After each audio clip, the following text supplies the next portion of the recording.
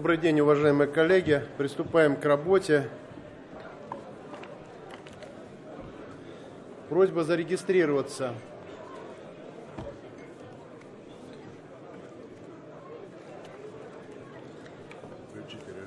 Включите, пожалуйста, режим регистрации. Саша, даю время, они начинают подтя... даю время, они начинают подтягиваться.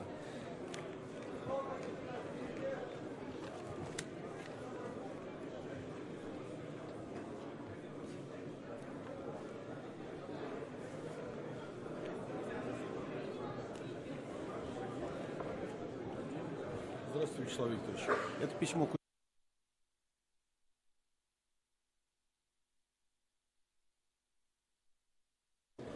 Покажите, пожалуйста, результат регистрации. В зале присутствует 410 депутатов. Кворум есть. Пожалуйста, Ольга Викторовна Савастьянова. Ой. Уважаемый Вячеслав Викторович, уважаемые коллеги, э, по документам, которые представлены в Государственную Думу, у нас должно э, отсутствовать э, 38 депутатов э, и присутствовать 410. Цифры совпадают. Спасибо. Спасибо, Ольга Викторовна. Уважаемые коллеги, нам необходимо принять за основу проект порядка работы. Включите режим голосования.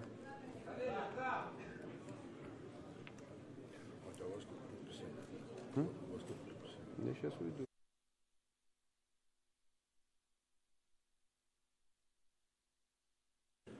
Покажите результат. Принимается за основу проект порядка работы. Прежде чем мы приступим к обсуждению проекта порядка работы, уважаемые коллеги, давайте поприветствуем наших коллег, э, депутатов э, Национального собрания Гвинейской Республики, которые присутствуют здесь на балконе во главе с председателем Национального собрания Гвинейской Республики господином Кандиана.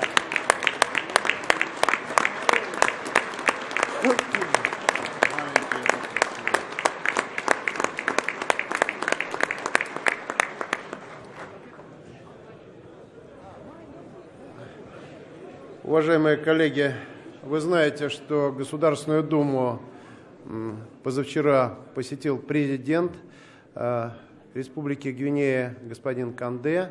Э, Большая э, делегация прибыла в Россию, и мы вот вместе с нашими коллегами вчерашний день работали и встречались с руководством парламента Национального собрания Республики Гвинея. И ряд решений, которые были э, достигнуты в ходе диалога, планируем сегодня формализовать и э, выпустить коммюнике по итогам переговоров. Э, В этой связи было бы правильно нам вот такую работу строить и с другими странами, чтобы у нас э, были конкретные результаты и итоги нашей межпарламентской деятельности. Могу сказать, что мы выходим на договоренности о проведении в 2018 году под патронатом Гвинеи э, как страны э, председатели, как страны председателя в Африканском Союзе масштабной парламентской конференции «Россия и Африканский Союз».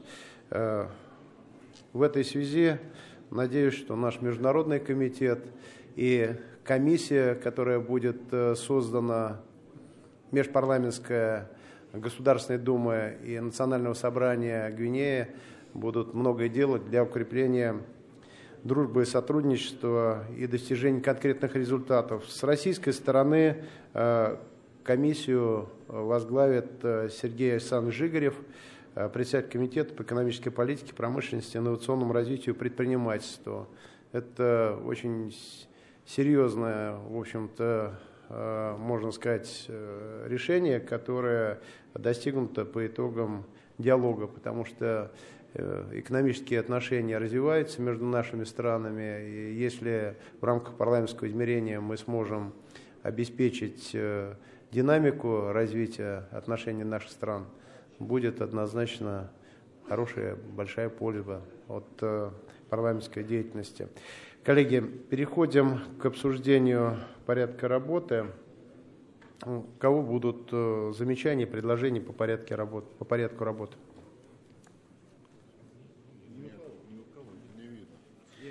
Есть? Пожалуйста, включите запись.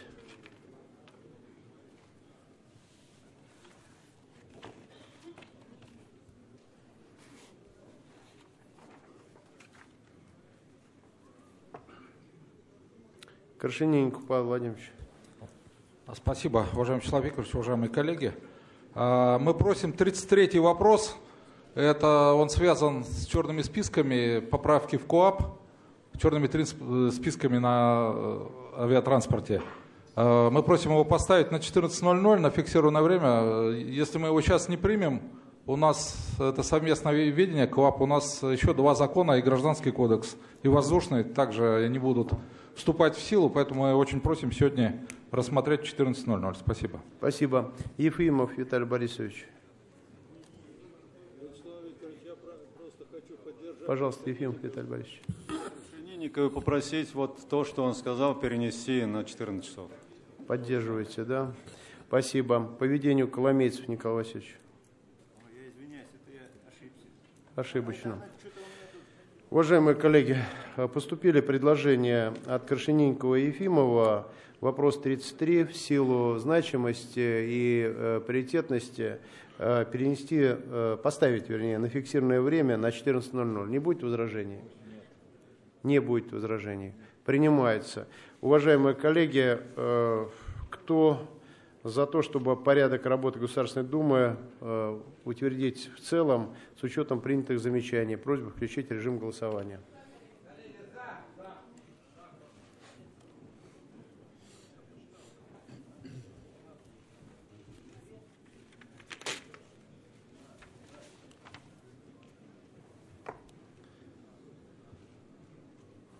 Покажите результат. Принимается единогласно. А, коллеги, прежде чем перейдем к обсуждению вопросов повестки, давайте поздравим Артура Николаевича Челенгарова с днем рождения. У него он был буквально несколько дней назад, у нас э, с вами э, не было такой возможности. Э, Артур Николаевич не только известный, легендарный и героический человек, полярник, но это парламентарий э, с большим стажем и с большой буквы. Поэтому, Артур Николаевич, счастья вам, здоровья, удачи. Вот. Герой России, герой Советского Союза, дважды герой.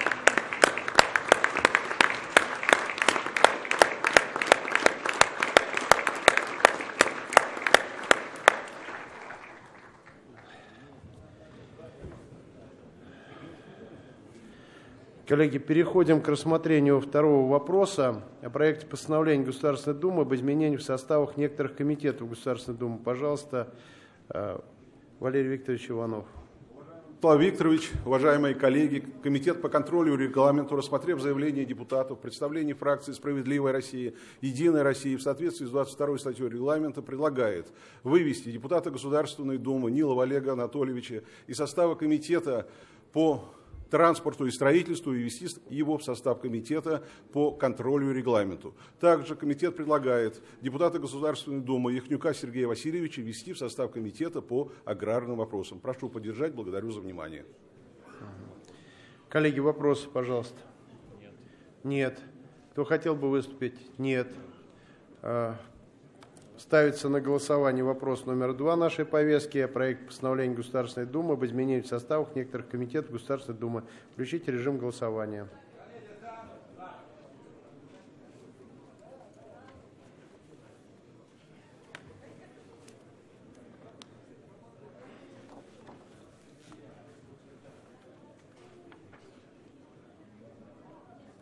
Покажите результат. Принимается постановление. Рассматривается третий вопрос о проекте постановления Государственной Думы о внесении изменений в план проведения правительственного часа на осеннюю сессию Государственной Думы 2017 года, утвержденный постановлением Государственной Думы Федерального собрания Российской Федерации о плане проведения правительственного часа на осеннюю сессию Государственной Думы 2017 года. Пожалуйста, Ольга Викторовна Савастьянова. Уважаемый Вячеслав Викторович, уважаемые коллеги, позвольте на ваше рассмотрение внести проект постановления, которым мы планируем внести изменения в план проведения правительственных часов. Предлагается план, предлагается правительственный час с участием министра связи и массовых коммуникаций Никифорова Николая Анатольевича перенести на 18 октября, запланированный ранее, а 11 октября э, провести правительственный час с участием вице-премьера Казака Дмитрия Николаевича и министра финансов Российской Федерации Антона Германовича Силуанова, запланированный в э, весеннюю сессию и который был перенесен по объективным причинам. Все необходимые процедуры проведены, прошу поддержать. Уважаемые коллеги, не будет возражений? Была просьба э, со стороны всех фракций о необходимости э, такого разговора и с э, заместителем председателя правительства Дмитрием Николаевичем Казаком, и с министром финансов Антоном Германовичем Силуановым, учитывая, что мы с вами сегодня получили бюджет, проект бюджета проект закона о бюджете э, от правительства Российской Федерации и приступаем к его обсуждению. В рамках обсуждения закона о бюджете, конечно, нам очень важен разговор и с министром финансов Российской Федерации, и заместителем правительства Российской Федерации по вопросу межбюджетных отношений. Поэтому приоритетность э, вызвана этим. Коллеги, согласны? Э, вопросов нет? Кто хотел бы выступить? Нет желающих. Ставится на голосование третий вопрос нашей повестки о проекте постановления Государственной Думы о внесении изменений в план проведения правительственного часа на осеннюю сессию Государственной Думы 2017 года, утвержденное постановлением Государственной Думы Федерального Собрания Российской Федерации о плане проведения правительственного часа на осеннюю сессию Государственной Думы 2017 года. Включите режим голосования.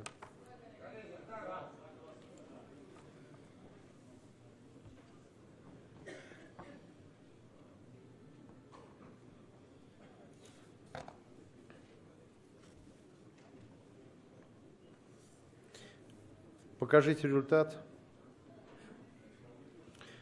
Принимается единогласно. Четвертый вопрос. О проекте постановления Государственной Думы продление срока работы в составе специальной комиссии по федеральному закону о внесении изменений в статью 15-16 федерального закона об общих принципах организации местного самоуправления в Российской Федерации и федеральный закон об образовании в Российской Федерации депутации Государственной Думы. Доклад Вячеслава Алексеевича Николова, пожалуйста. Вячеслав Алексеевич.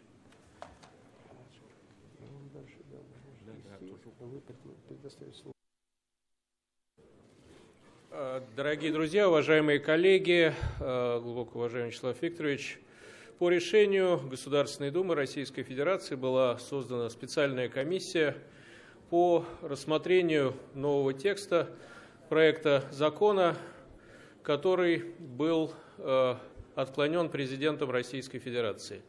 Комиссия работала все это время, э, проводились парламентские слушания, состоялось совещание у Ольги Юрьевны Голодец по этому вопросу. Э, правительство активно подключилось к подготовке нового текста законопроекта. Он оказался сложнее, чем ожидалось. Нам поступил, поступила просьба от правительства Российской Федерации продлить работу специальной комиссии до э, конца мая 2018 э, года. Э, на наш взгляд, учитывая политический календарь и то, что май будет посвящен созданию нового правительства Российской Федерации, мы предполагали, что этот срок может быть даже продлен. И мы поэтому вносим предложение о том, чтобы продлить работу специальной комиссии до конца весенней сессии Государственной Думы Российской Федерации 2018 э, года. Прошу поддержать. Уважаемые коллеги, вопросы? Нет. Кто хотел бы выступить? Нет. Ставится на голосование вопрос номер 4 нашей повестки, проект постановления Государственной Думы, продление срока работы в составе специальной комиссии по федеральному закону, внесение изменений в статью 15 и 16 федерального закона об общих принципах организации местного самоуправления в Российской Федерации, федеральный закон об образовании в Российской Федерации, депутации Государственной Думы. Пожалуйста, включите режим голосования.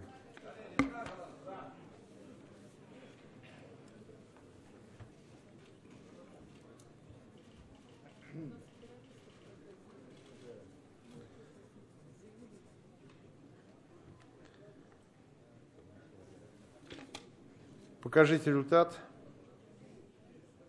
Принимается единогласно. Рассматривается пятый вопрос повестки. Проект постановления Государственной Думы. Календаре рассмотрения вопросов Государственной Думы с 11 по 27 октября 2017 года. Доклад первого заместителя председателя Государственной Думы Александра Мича Жукова.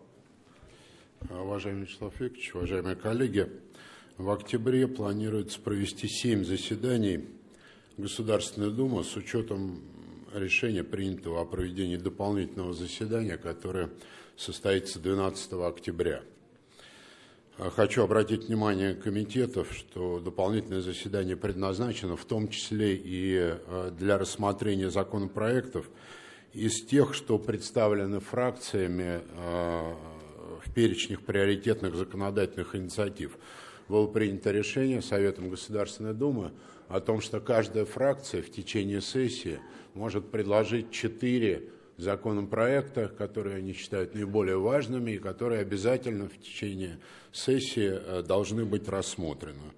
А, вот таким образом мы э, начинаем э, реализовывать предложения фракций по рассмотрению приоритетных, по их мнению, законопроектов. В этой связи я бы попросил ответственные комитеты а в комитеты направлено предложение фракции, активизировать работу с тем, чтобы внести соответствующие предложения о дате рассмотрения этих законопроектов на Совет Государственной Думы 10 октября.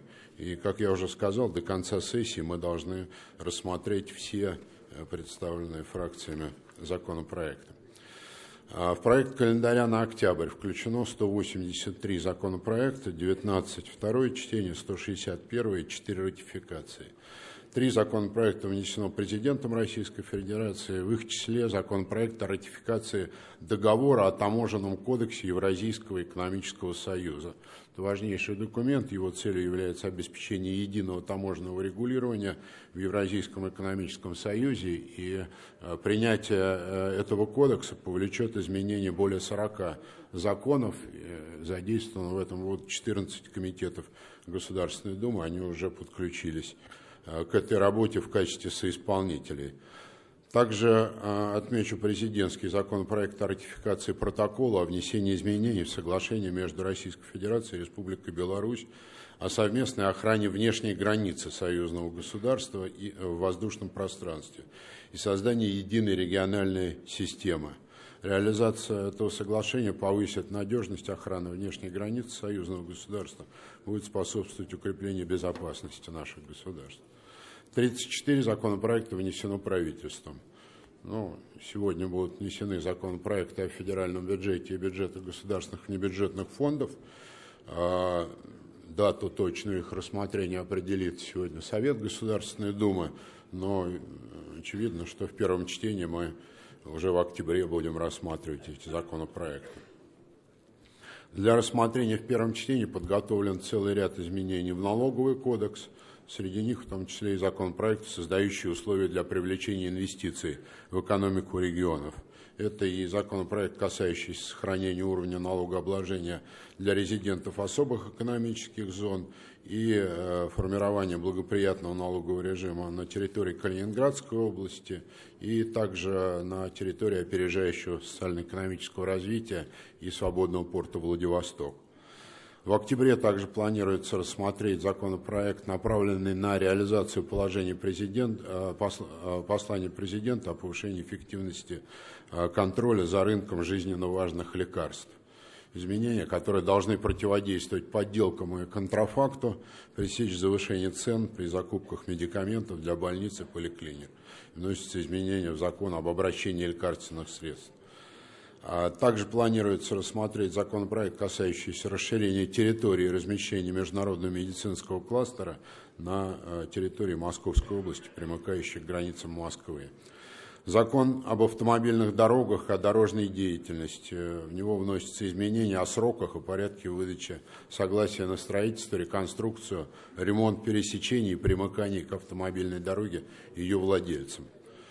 А среди э, правительственных законопроектов второго чтения отмечу законопроект, подготовленный в исполнении послания президента о внесении изменений в закон о, коммерческих, о некоммерческих организациях. Здесь наделяются органы исполнительной власти, субъектов полномочиями по оценке качества общественно полезных услуг.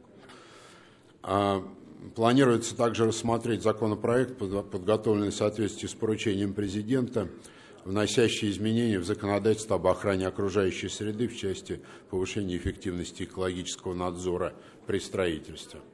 Помимо этого, в календарь включено 35 законопроектов, внесенных законодательными органами субъектов Федерации, 16 членами Совета Федерации и еще 95 депутатами Государственной Думы. Уважаемые коллеги, в соответствии с принятыми э, нами постановлениями будет проведено три правительственных часа. 11 октября, как только что мы проголосовали, с участием Дмитрия Николаевича Казака и Антона Германовича Силуанова на тему состояния и совершенствования межбюджетных отношений. Запланированный ранее правительственный час с участием министра связи и массовых коммуникаций э, переносится на 18 октября. 25 октября приглашен министр энергетики Александр Валентинович Новых. А, уважаемые коллеги, несколько слов о ходе работы по законодательному обеспечению реализации положений послания президента. Вчера мы провели заседание рабочей группы, подробно докладывать не буду, просто хочу обратить ваше внимание, что у нас 20 э, законопроектов принято в первом чтении из этого э, перечня. И э, нам необходимо до конца года эти 20 законопроектов э, принять. Э, из них э, на заседание в октябре запланировано на сегодняшний день пока только три. Э, я прошу комитеты внимательно отнестись к рассмотрению этих законопроектов, ускорить их представление, рассмотрение поправок вот, среди них есть очень важные, в том числе и касающиеся оплаты работников, бюджетной сферы и так далее. А, прошу утвердить календарь с 11 по 27 октября. Спасибо, Александр Дмитриевич. Коллеги, будут ли вопросы к Александру Дмитриевичу? Не вижу. Желающие выступить? Есть. Включить режим записи на выступление.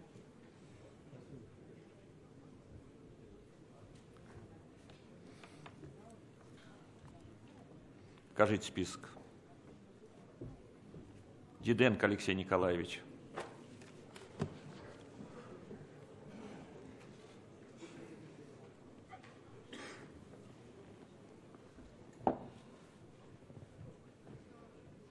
Все выступления от фракции. Уважаемый Иван Иванович, уважаемые коллеги, э, Действительно, вопрос календаря всегда вызывает э, очень бурные э, споры, яркие выступления. Э, и это не из-за того, что депутатам просто так хочется поговорить. Конкретные законопроекты нужно и правильно обсуждать, но в календаре, в котором в том числе, например, есть раздел проведения правительственных часов, нам нужно проанализировать, вот как мы с вами провели конкретный правительственный час с министром транспорта Соколовым, и насколько мы э, обозначили проблему задержек перевозок, нарушения э, правил перевозок и сертификационных требований со стороны наших региональных и международных перевозчиков. Я вас уверяю, если мы посмотрим постановление, которое мы приняли по итогам правительственного часа э, министра транспорта, мы там этих позиций не увидим. В этой связи возникает вопрос, насколько эффективно мы реализуем свои полномочия как высший орган парламентского контроля. Мы именно для этого приглашаем сюда министров, чтобы обозначать крупные проблемы. А когда 30 тысяч наших избирателей сегодня вот, находятся в этот самый момент за пределами своей страны и не имеют возможности вернуться в Российскую Федерацию себе домой, я считаю, что это серьезная проблема уже дошло до того, что э, на самом высоком уровне глава государства делает замечания, объявляет выговоры э, и так далее, а мы с вами какую-то резкую э, позицию и не заняли, и резко не раскритиковали министра транспорта. А проблема не вчера возникла, не неделю назад. Весь 15 год были проблемы у Вимавия, 16 год еще больше проблем. Как только начинается пик сезона, возникают такие ситуации.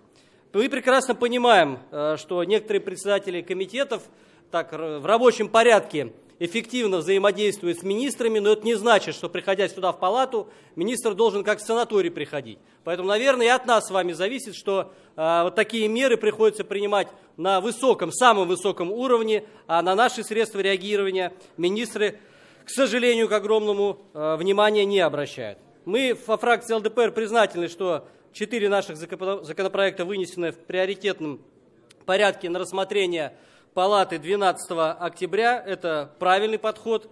Нужно его, конечно, расширить, поскольку есть и другие инициативы. Я коротко на них остановлюсь.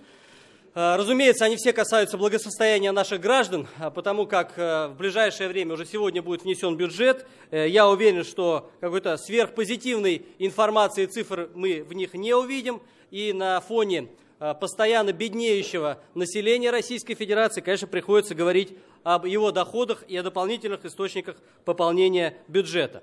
Отменить транспортный налог. Этот проект в качестве приоритета вынесен на 12 число. Внесен нашими коллегами, коллегами еще в ноябре 2015 года.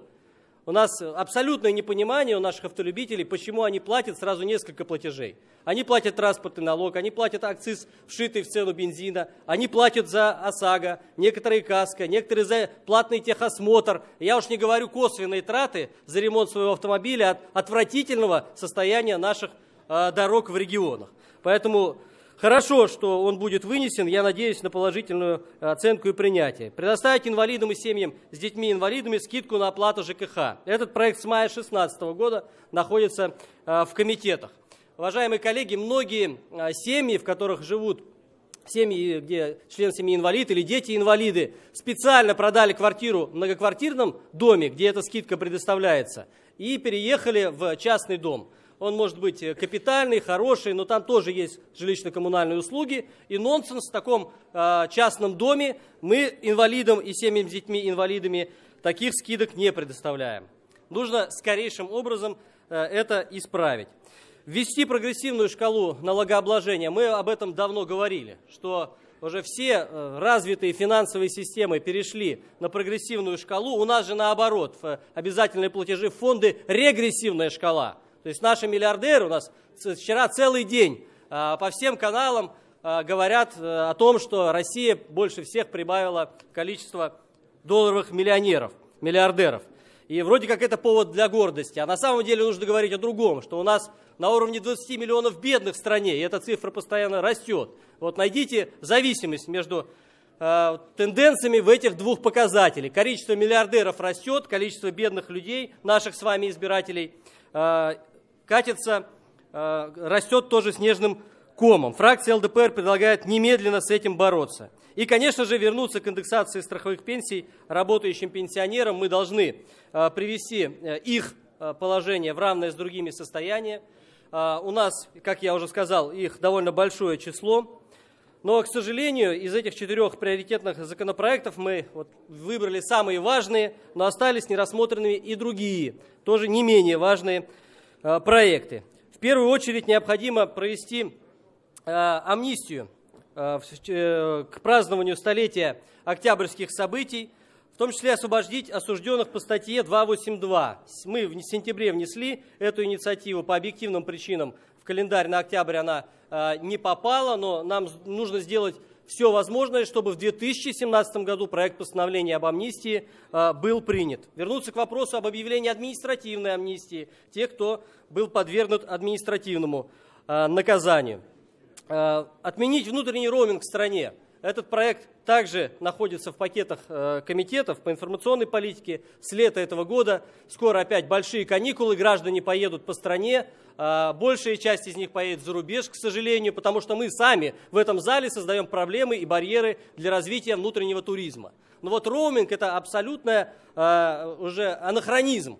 Это Система работала, когда в стране было много операторов сотовой связи, региональные, межрегиональные, федеральные. Сейчас у нас только большая тройка. И 90% граждан пользуются услугами этих сотовых операторов. Не нужно самим себе создавать проблемы и вставлять палки в колеса. Запретить стимулирование продаж алкоголя, закрывать торговые точки за продажу алкоголя несовершеннолетним и фальсификата.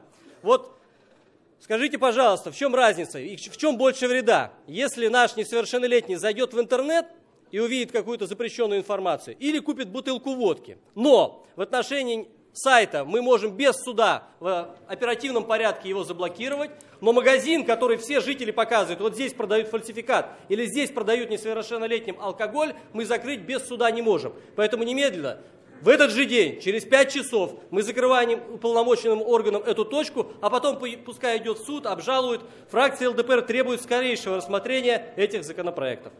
Спасибо, Алексей Николаевич. Поведение Владимир Вольфович Жириновский. У меня просто маленькое такое замечание. Выступает депутат, а десятки других ходят по залу, нашептывают, ну как клуб. Вот сейчас же я выступаю, лидер фракции, все равно стоит депутат и там долго разговаривает с кем-то. Ну, какую-то совесть надо иметь. Ну, вы не уважаете депутата. Выйдите в фойе, слева, справа диванчики, сядьте и говорите. Ну, где вы видели, что шло заседание правительства, министр подошел к другому, что-то шептал там, смеялись бы они, вспоминали, как они провели вчерашний вечер. Ну, я не понимаю это вообще. Как можно? Мы же депутаты. Стоит депутат на трибуне, а другие ходят по залу все, наплевать, да там, иди там, говори все, что хочешь. Ну, я не знаю, зачем мы это делаем. Ну, выйдите в фойе, там диваны для вас поставили. Вы какой пример подаете, так сказать, всей стране и так далее, всем остальным? Я прошу все-таки как-то взаимного уважения. Спасибо, Владимир Больевич. Я поддерживаю ваше замечание, коллеги. Особенно, мне кажется, недопустимо, когда поворачиваются спиной к выступающим. Это совсем нехорошо. Пожалуйста, следующий выступающий, Коломейцев Николай Васильевич. Уважаемый Иван Иванович, уважаемые коллеги, безусловно, календарь рассмотрения всегда необходимо привязывать текущей ситуации и назревшим проблемам. И мне кажется, в преддверии рассмотрения федерального бюджета нам бы надо внимательнее посмотреть и потребовать от правительства более оперативной работы. О чем я, что я имею в виду? Ну, первое. С этой трибуны неоднократно и министры, на своих правительственных отчетах говорили о нескольких законах, которые они поддерживают, но правительство почему-то задерживает заключение, причем уже неоднократно перенося. Ну, прежде всего, это закон о школьном молоке.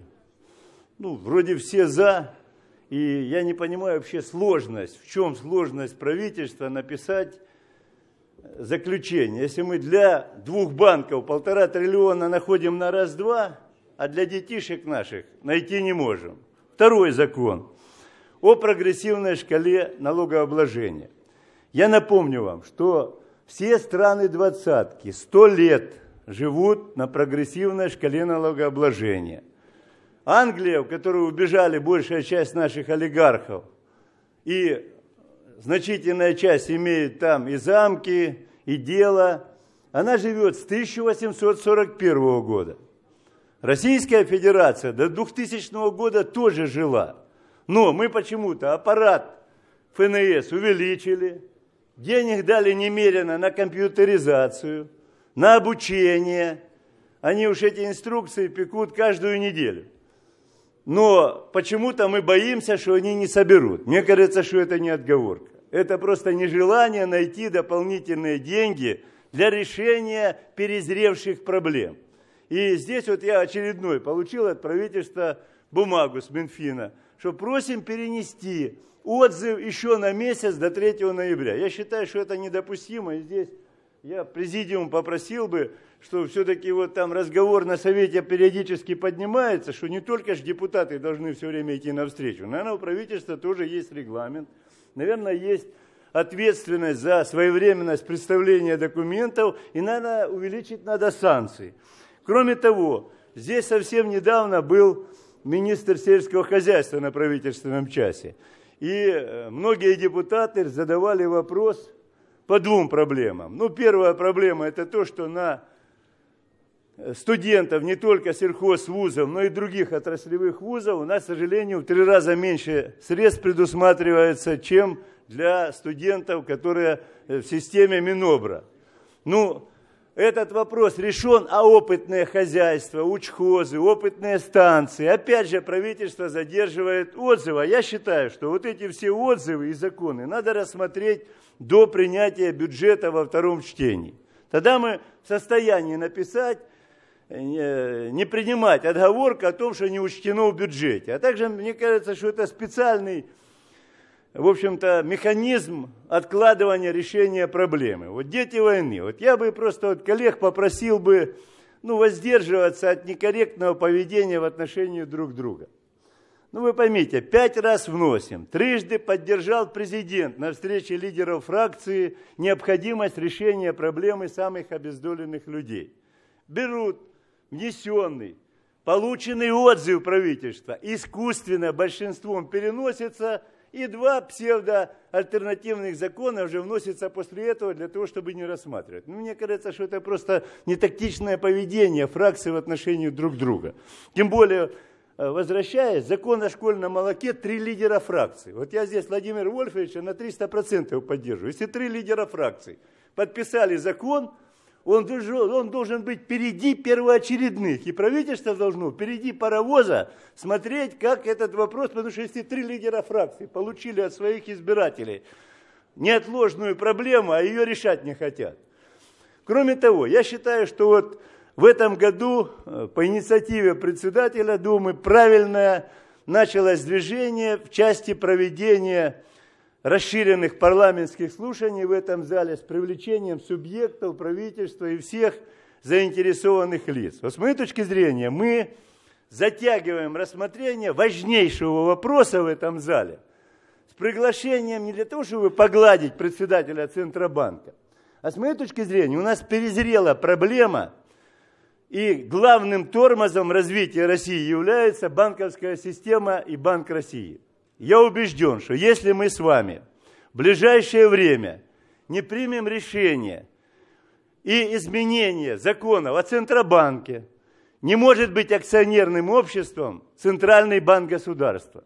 Не может Центральный банк государства, находящегося в конфронтации с другим, зависеть от, от ФРС. Ну, вы поймите, как мы можем зависеть от чужой валюты? У нас же 75-я статья Конституции гласит о том, что денежная валюта Российской Федерации пока рубль. Но почему у нас все зависит от курса доллара и от цены на нефть? Ну, мне кажется, что у нас самая обеспеченная валюта. У нас с вами 35% всех полезных ископаемых, половина лесов, половина пресной воды. И вообще-то, мне кажется, что нам надо вернуться к обеспечению рубля не фантиками, 20 триллионов которых по всему миру гуляет, а сколько их напечатано, никто не знает. Понимаете? А вообще-то обеспечение должно быть, наверное, ресурсное, лучше золотое. Почему Америка сегодня, привязав к фантикам, имеет самый большой запас золота? Сегодня вторые, и в этом году, наверное, станут первыми китайцы. А мы с вами, обладая запасами золота, на самом деле берем и продаем его ну, всем, кому не лень, не занимаясь укреплением реальным своей валюты.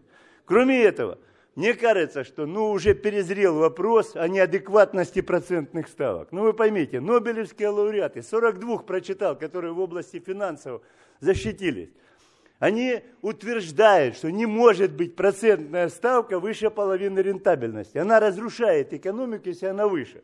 У нас с вами рентабельность 7,7 за прошлый год, средняя по России, а ключевая ставка 9 а реальная ставка не ниже 14. Ну как же мы будем с вами подниматься с колен? Мне кажется, что назрела необходимость проведения углубленного 10-часового, а может и суточного заседания здесь по банковской системе. Спасибо. Спасибо, Николай Васильевич. От фракции «Справедливая Россия» выступает Олег Анатольевич Нилов.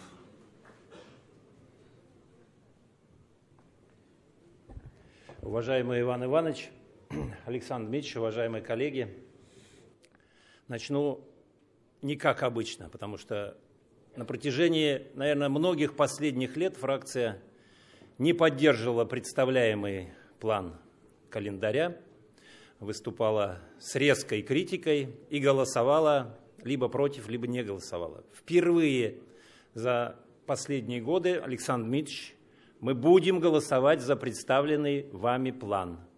Причина очевидная. Вы услышали предложения оппозиционных фракций и дали возможность им определять приоритеты, а не те, как получится вот до, до этого. Поэтому за это уже спасибо. Ну и теперь, какие еще есть предложения?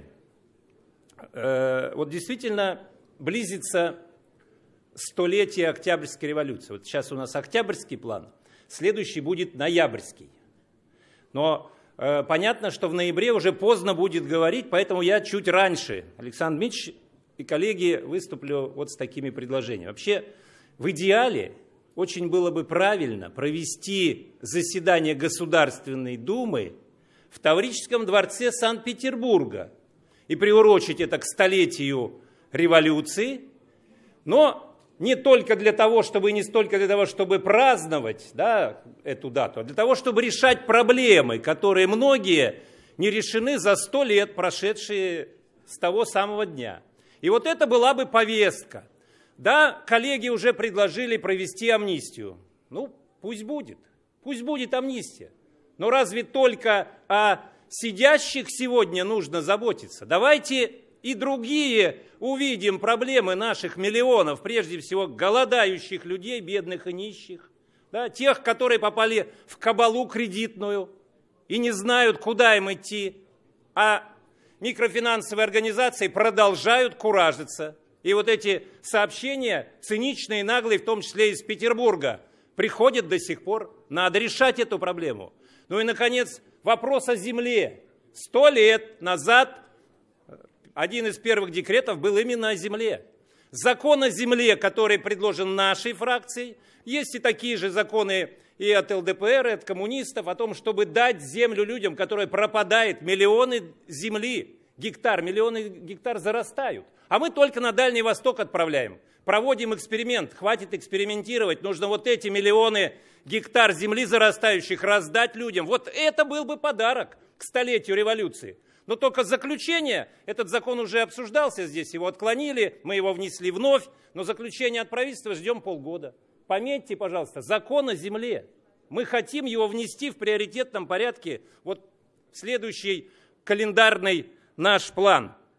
Ну и, конечно, подарком был бы законопроект, который мы внесли, он попал сейчас в приоритет. Это, кстати, закон, знаете, сколько лежит? С 13 декабря 2012 года о предельно допустимой доле э, оплаты жилищных расходов и коммунальных. Мы предлагаем 10%. Вот это будет подарок, прежде всего для тех людей, которые вот мучаются заплатить за квартиру и все, или еще оставить на хлеб и лекарства. Э, конечно, Александр Мич, здесь есть вот некоторая такая история, мы первый раз столкнулись, но я предлагаю обратить внимание. Смотрите, и наша фракция в число приоритетов поставила закон об отмене транспортного налога и о прогрессивной шкале. И коллеги поставили эти же вопросы. То есть, получается, технически да, достаточно было одной фракции поставить этот вопрос в приоритет. Понимаете, коллеги, да? Остальные пошли бы э, как альтернативные. Поэтому дайте нам возможность, может быть, еще один закон э, в дополнение. Тем более, получается, какая ситуация? Да, у нас есть среди этих четырех законов закон о внесении в УК понятия «незаконное обогащение» и иных мер по противодействию коррупции. То есть это закон направлен на э, борьбу вот с теми самыми коррупционерами, а прежде всего оборотнями, да, благодаря которым происходят вот эти коллапсы, катаклизмы, вот эти проблемы с дольщиками, вкладчиками, пассажирами. Основная причина не бизнес вот жуликоватый, а вот эти вот оборотни в разных там кабинетах и коридорах, которые прикрывают и закрывают глаза на то, как они грабят, вывозят награбленное, а потом исчезают. Да? И опять их никто не возвращает, их никто не наказывает как следует. Тюрьмы они не боятся, потому что в тюрьме можно договориться. И вот что получилось. Закон, который, законопроект, который год практически уже в повестке дня – он называется «О конфискации имущества коррупционеров и казнокрадов и ближайшего окружения, если те не докажут законность происхождения нажитого». Он год. В повестке, помните, прошедшие, на прошедших заседаниях он был 18-й, мы дошли до 17-го. Значит, он там 20-й, мы доходим до, до 19-го. А сегодня он в повестке дня 38-й. То есть получилось Конечно, мы понимаем, что мы поставили в приоритет, но мы думали, что этот закон вот все-таки попадет в, в поле зрения Думы. Александр Ильич, просьба. 38-й закон в повестке дня, мы, мы все должны считать его архиважным, архиприоритетным, потому что пока не будет вот такого не просто необратимого наказания, а очень болезненного наказания для жуликов, коррупционеров и казнокрадов всех мастей, к сожалению, сложно будет бороться со многими проблемами, которые мы поднимаем здесь э, во всех отраслях. Поэтому спасибо еще раз, фракция проголосует, но надеемся на то, что будут услышаны и те предложения, о которых я сказал. Спасибо. Спасибо, Олег Анатольевич. Включите, пожалуйста, микрофон Александру Дмитриевичу Жукову. А, уважаемые коллеги, спасибо за содержательное обсуждение проекта нашего плана работы. На октябрь действительно впервые за 6 лет я услышал поддержку со стороны «Справедливой России». Но э, я хотел бы обратиться еще раз к председателям комитетов. Э, вот те приоритетные законопроекты, которые фракции вынесли, э, не откладывать их на декабрь месяц, на последний период, постараться их нести в том числе вот на дополнительное заседание, которое будет 12 октября. Спасибо. Спасибо. Ставлю на голосование проект постановления Государственной Думы о календаре рассмотрения вопросов Государственной Думы с 11 по 27 октября 2017 года. Включите режим голосования.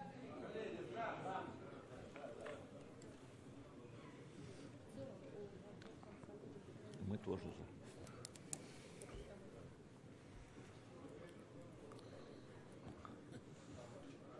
Покажите результат. Постановление принимается. Переходим к законопроектам третьего чтения. Шестой вопрос. Проект федерального закона о внесении изменений в федеральный закон о ветеранах. Владимир Иванович Мельник, пожалуйста.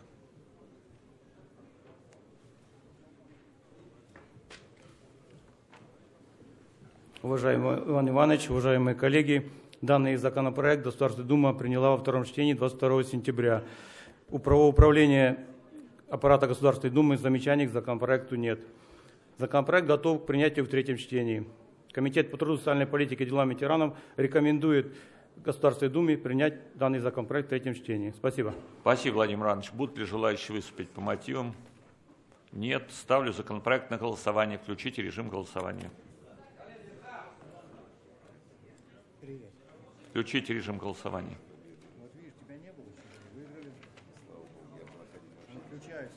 Я вижу, что не включается. Какие у нас проблемы технические?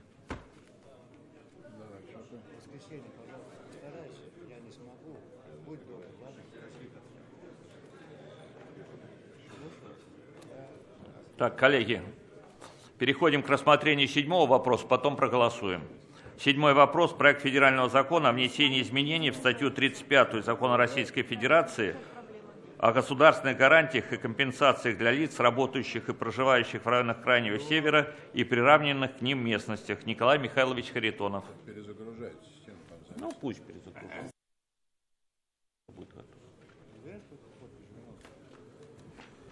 А я позволю себе, коллега Нилу затронул очень серьезные вопросы. В 1908 году Столыпин говорил о раздаче земли крестьянам. Там, где не будет заработка, это пустая приманка – мы в начале 90-х годов раздали 12 миллионов земельных паев. И все эти паи вновь вернулись в лес, и они сегодня зарастают. На самом деле это так.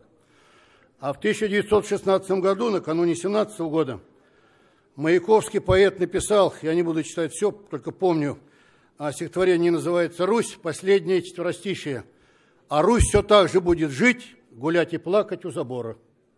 Поэтому вот прикиньте, то время, сегодня 20 миллионов – земля зарастает. Нам есть на чем думать в этом зале. Уважаемый Слава Викторович, уважаемый Иван Иванович, уважаемые коллеги, вашему вниманию предоставляется проект федерального закона о внесении изменений в статью 35 Закона Российской Федерации о государственных гарантиях и компенсации для лиц, работающих и проживающих в районах Крайнего Севера и правильных местностям, который устраняет противоречия в действующем законе путем замены термина «трудовая пенсия» на термин «страховая пенсия». Законопроект рассмотрен комитетом и подготовлен к третьему чтению, проведены все необходимые экспертизы и согласования. 20 сентября правительство Российской Федерации представило необходимую информацию о внесении изменений в свои нормативные акты. Пункт 3 постановления о втором чтении законопроекта выполнен. Комитет предлагает принять представленный проект. В третьем чтении прошу поддержать наше решение, решение комитета. Спасибо за внимание. Спасибо, Николай Михайлович. Присаживайтесь. Коллеги, будут ли желающие выступить по мотивам? Нет. Коллеги, тогда внимание. Ставлю на голосование пункт 6. Проект федерального закона о внесении изменений в федеральный закон о ветеранах. Включите режим голосования. Привет, Лень.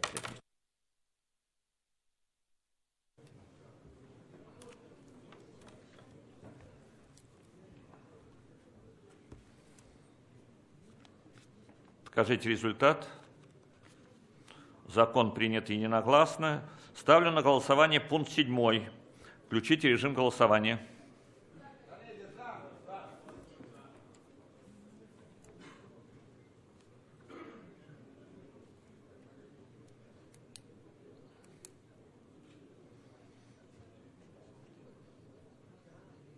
Покажите результат. Закон принят. Восьмой пункт. Проект федерального закона о внесении изменений в Уголовно-исполнительный кодекс Российской Федерации. Докладывает Василий Иванович Пискарев. Уважаемые коллеги, э, предложенный вашему вниманию законопроект полностью подготовлен для принятия э, в третьем чтении. Замечания юридико-технического, лингвостилистического, правового характера не имеется. Комитет по безопасности и противодействию коррупции предлагает принять законопроект в окончательном третьем чтении. Спасибо за внимание. Спасибо, Василий Иванович. Будут ли желающие выступить по мотивам? Нет. Ставлю законопроект на голосование. Включите режим голосования.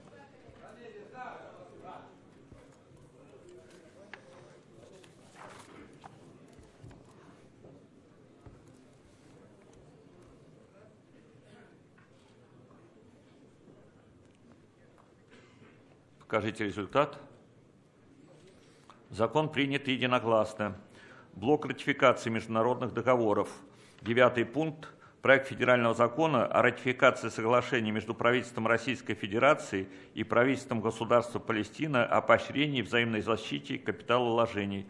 Докладывает официальный представитель правительства Российской Федерации, заместитель министра экономического развития Алексей Владимирович Груздев. Пожалуйста.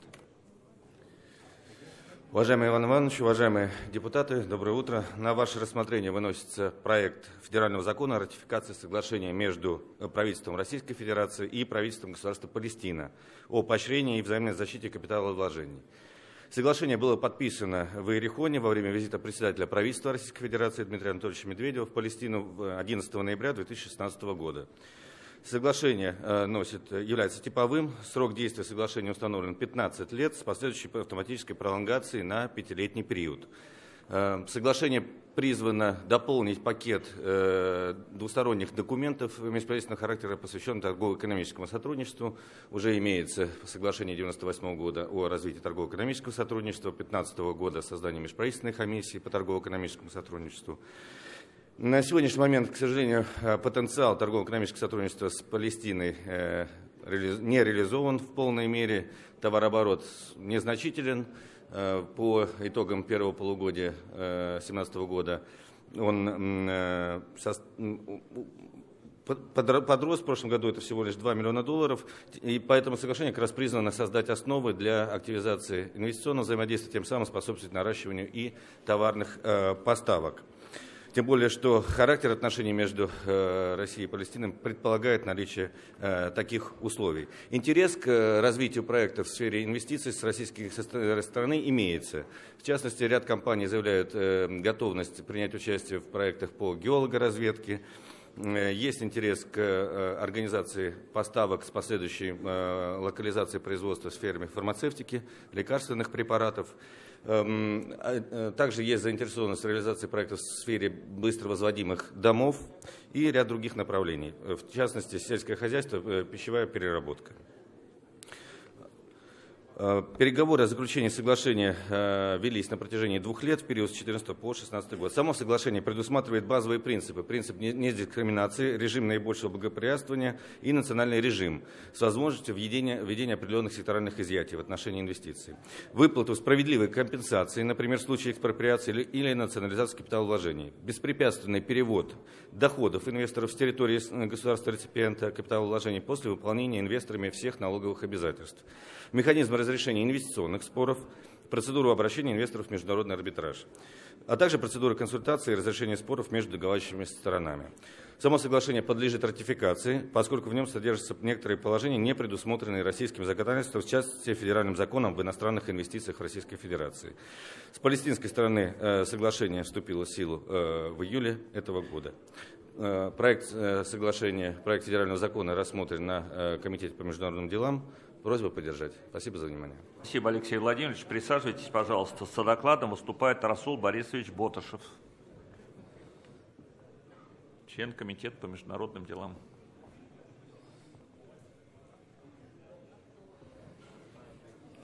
Уважаемый Иван Иванович, уважаемые коллеги, Комитет Государственной Думы по международным делам рассмотрел проект федерального закона о ратификации соглашения между правительством Российской Федерации и правительством государства Палестина о поощрении и взаимной защите капиталовложений. Законопроект прошел правовую лингвистическую экспертизу в правовом управлении Государственной Думы Получен положительный отзыв Комитета по международным делам Совета Федерации. Отсутствует замечание учетной палаты. Комитет по международным делам Государственной Думы рекомендует Государственной Думе принять федеральный закон о ратификации данного соглашения. Спасибо, Расул Борисович. Коллеги, будут ли вопросы? Есть. Включите режим записи на вопрос.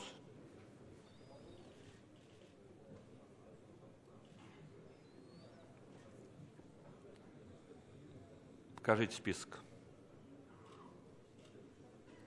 Маринин Сергей Владимирович. Алексей Владимирович, скажите, пожалуйста, а как будет регулироваться отношения между странами, если государство потеряет суверенитет над частью своей территории, в которую будет вложено средства инвестора? Спасибо большое за вопрос. Э, при э, разработке проекта соглашения и формулировании базовых статей э, был специально введен, э, введено понятие э, территорий. В типовом соглашении у нас подробно прописывается э, страна, реципиент инвестиций, территория. В данном случае, с учетом особой ситуации, было дано наименование территория государства Палестина. Это тот прецедент, который уже ранее был зафиксирован в двусторонней нормативно-правовой базе, в частности в соглашении с Палестиной о сотрудничестве и взаимопомощи в таможенных делах. Поэтому э, речь идет э, об инвестициях, естественно, в, в рамках той территории, которая находится в администрировании управления палестинской национальной администрации. Спасибо. Что касается... Спасибо. Да. Пожалуйста, если надо что-то добавить. Все, да? Спасибо. Будут ли желающие выступить? Есть. Включите режим записи на выступление. Надо нажимать.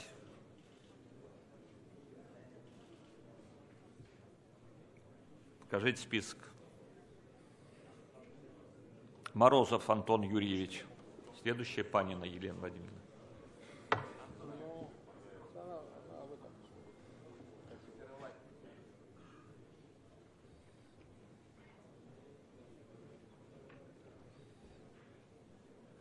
Уважаемый Иван Иванович, уважаемые коллеги, фракция ЛДПР поддержит ратификацию данного соглашения – между правительством Российской Федерации и правительством государства Палестина.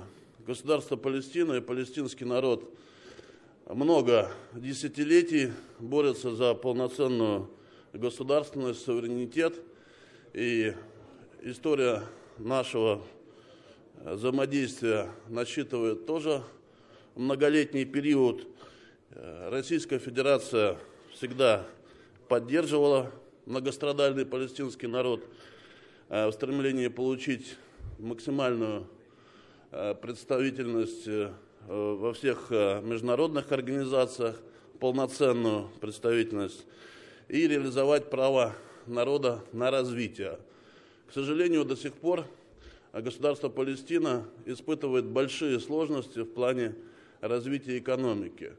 И как нам представляется, создание благоприятных условий для российских инвесторов и для российских компаний, которые хотят работать на территории государства Палестина, будет способствовать в том числе и урегулированию конфликтной ситуации, которая уже много лет существует в этом регионе. Как представляется, именно неурегулированность э, отношений между Израилем и Палестиной – складывают определенные предпосылки для дестабилизации региона в целом. Поэтому, как нам представляется, необходимо направить все усилия на то, чтобы поддержать максимально э, суверенитет и полноценное становление государства Палестина для того, чтобы избежать возможных дальнейших эскалаций напряженности в этом регионе. Поэтому ЛДПР за ратификацию данного соглашения. Мы надеемся, что количество российских компаний, э, которые проявляют интерес к работе на этой территории, будут, будет расти. Спасибо. Спасибо, Антон Юрьевич. От фракции «Единая Россия» выступает Елена Владимировна Панина.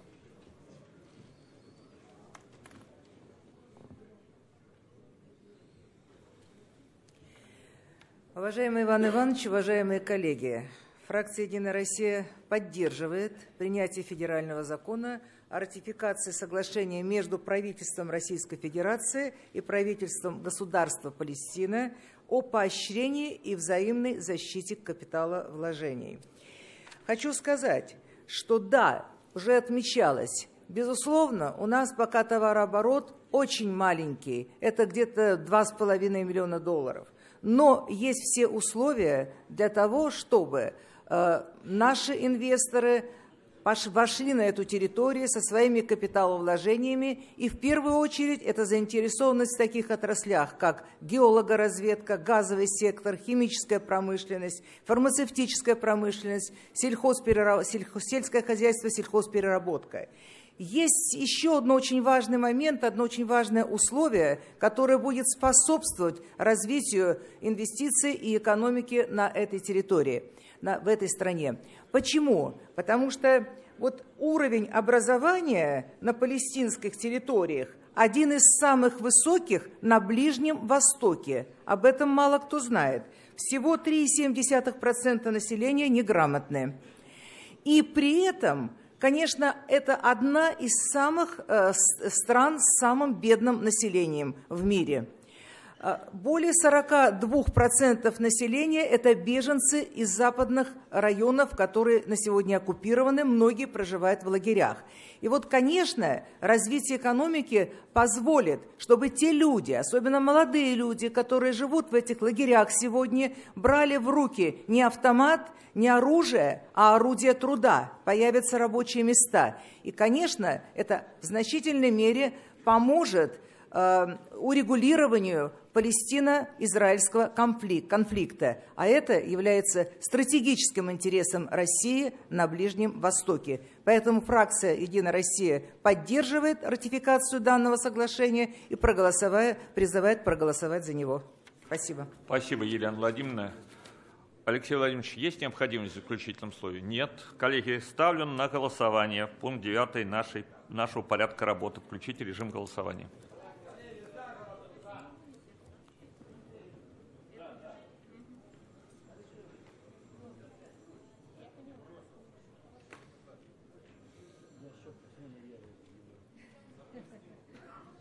Покажите результат.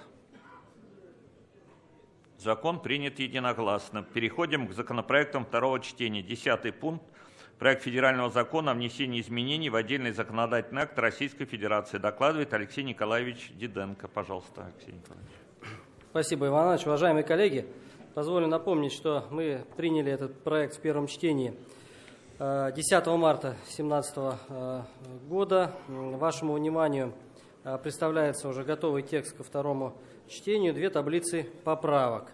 В первой таблице две поправки, они носят э, исключительно юридико-технический э, характер. Э, несмотря на объемность, они приводят в соответствие, вычищают текст в плане перечня документов стратегического планирования и гармонизации в различных видах муниципальных образований. А во второй э, таблице поправок, представленной вашему вниманию, три поправки, рекомендованные комитетом э, к отклонению. Все они внесены законодательным собранием э, города федерального значения Севастополь. Они либо учтены в таблице поправок, тех поправках, которые рекомендуются к принятию, либо, не, на наш взгляд, не отвечают предмету правового регулирования данного проекта федерального закона. В этой связи предлагаем, уважаемые коллеги, утвердить э, э, таблицу поправок, рекомендуемых комитетом к принятию. Также текст законопроекта и принять его во втором чтении. Спасибо, Алексей Николаевич. Есть вопрос по таблице поправок номер один? Нет, ставлю таблицу на голосование. Включить режим голосования.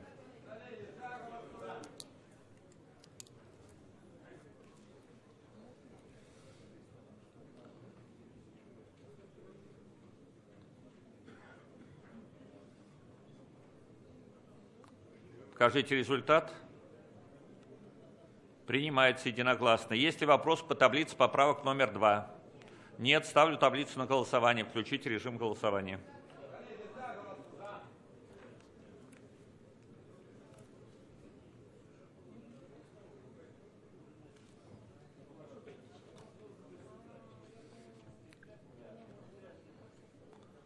Покажите результат.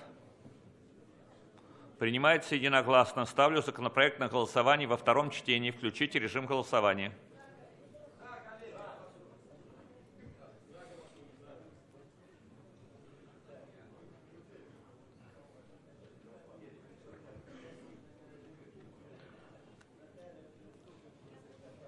Покажите результат.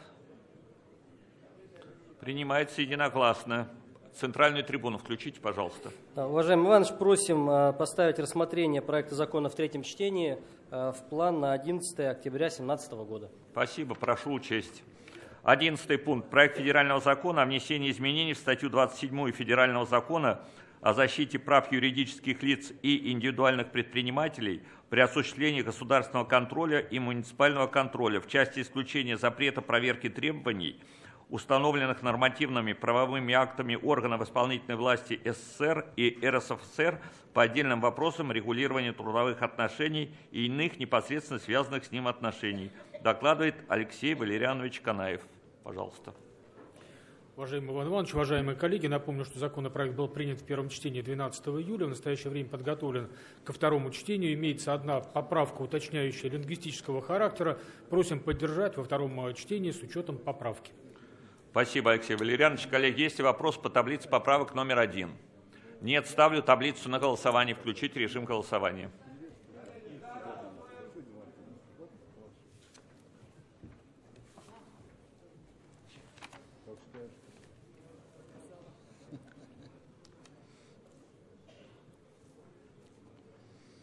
Покажите результат. Принимается. Ставлю на голосование законопроект во втором чтении. Включите режим голосования.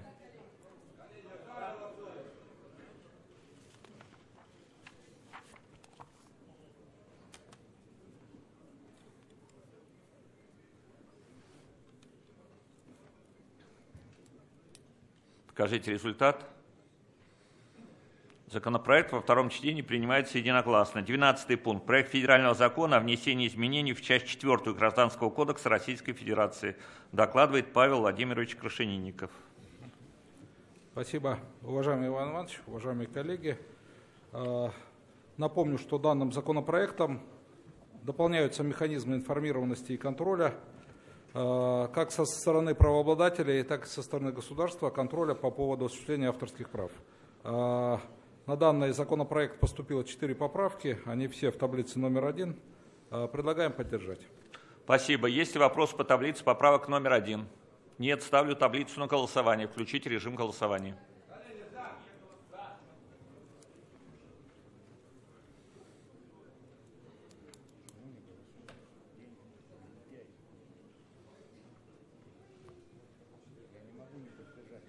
Покажите результат.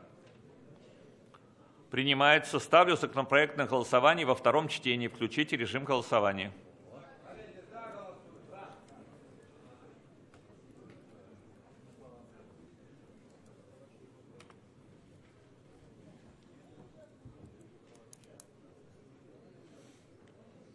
Покажите результат.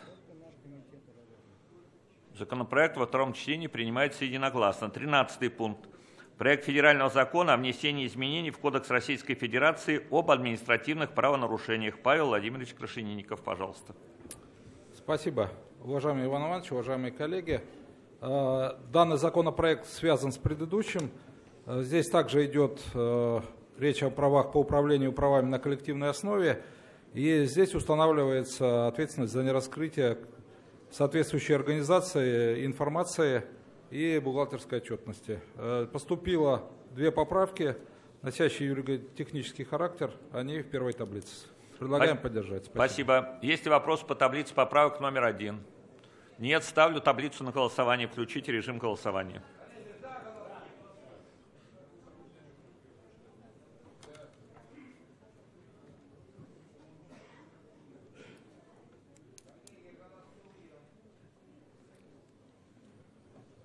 Покажите результат. Поправки принимаются. Ставлю законопроект на голосование во втором чтении. Включите режим голосования.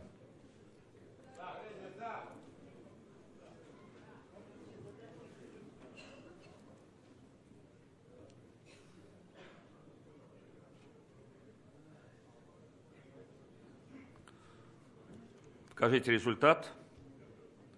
Законопроект во втором чтении принимается единогласно. 14 пункт. Проект федерального закона о внесении изменений в федеральный закон о государственной регистрации юридических лиц и индивидуальных предпринимателей в части взаимодействия регистрирующего органа с многофункциональными центрами предоставления государственных и муниципальных услуг при государственной регистрации юридических лиц и индивидуальных предпринимателей. Павел Владимирович Крашенинников, пожалуйста. Спасибо. Уважаемый Иван Иванович, уважаемые коллеги, э, из названия вытекает предмет этого закона – Здесь действительно унифицируется, уточняется, я бы сказал, упрощается порядок взаимодействия регистрирующих органов и многофункциональных центров. Но это не только между ними упрощение, но и также по поводу э, той ситуации, которая существует с гражданами. Здесь э, упрощение, на мой взгляд, очевидное. Поступило 11 поправок, они все э, находятся в таблице номер один. Предлагаем поддержать. Спасибо. Есть вопрос по таблице поправок номер один? Нет. Ставлю таблицу на голосование. Включить режим голосования.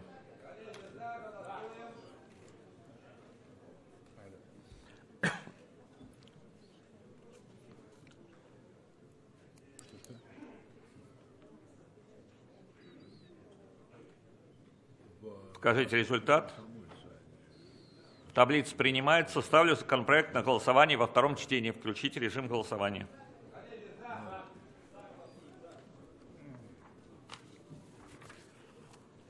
Это недели две-три назад.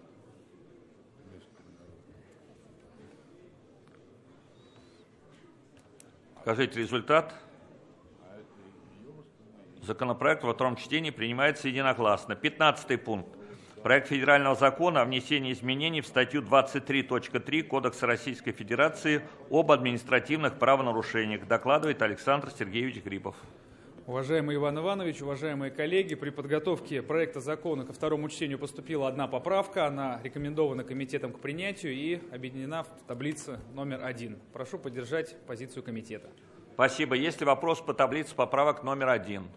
Нет, ставлю на голосование таблицу поправок. Включить режим голосования.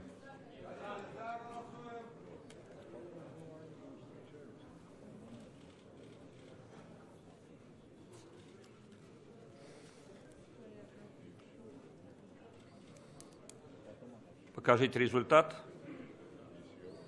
Таблица принимается. Ставлю законопроект на голосование во втором чтении. Включить режим голосования.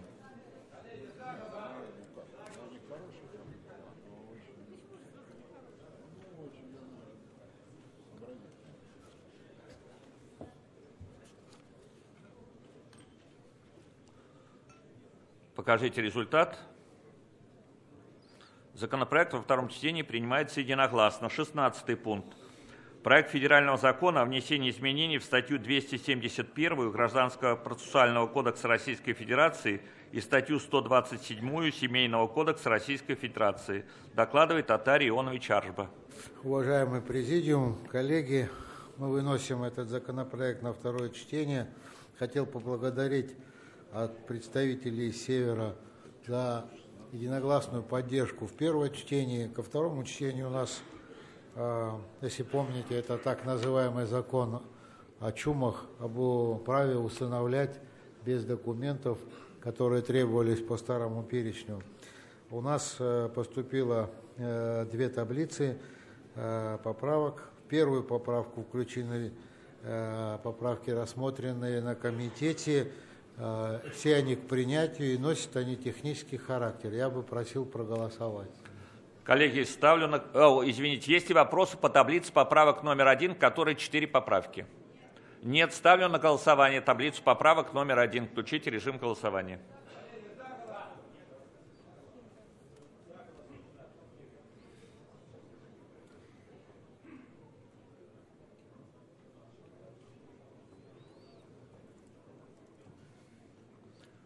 Покажите результат. Принимается. И есть отдельная поправка Павла Владимировича Крашенинникова. Пожалуйста, Атарионович.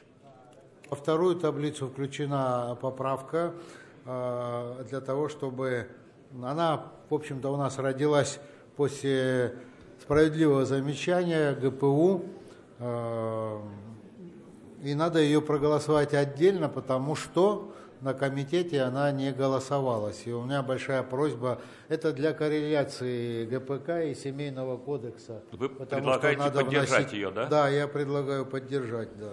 Коллеги, это не таблица, это отдельная поправка. Я ставлю эту поправку на голосование. Включите режим голосования.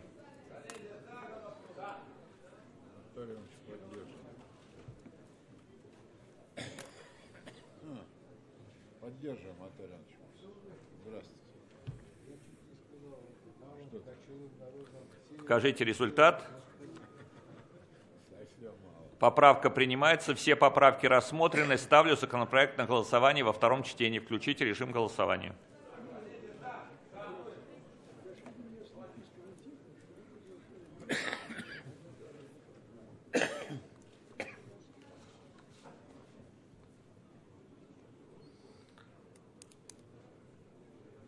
Покажите результат. Законопроект во втором чтении принимается. Переходим к рассмотрению законопроектов первого чтения. 17 пункт. Проект федерального закона о внесении изменений в статью 11.1 федерального закона об обязательном страховании гражданской ответственности владельцев транспортных средств. Докладывает официальный представитель правительства, заместитель министра финансов Алексей Владимирович Моисеев.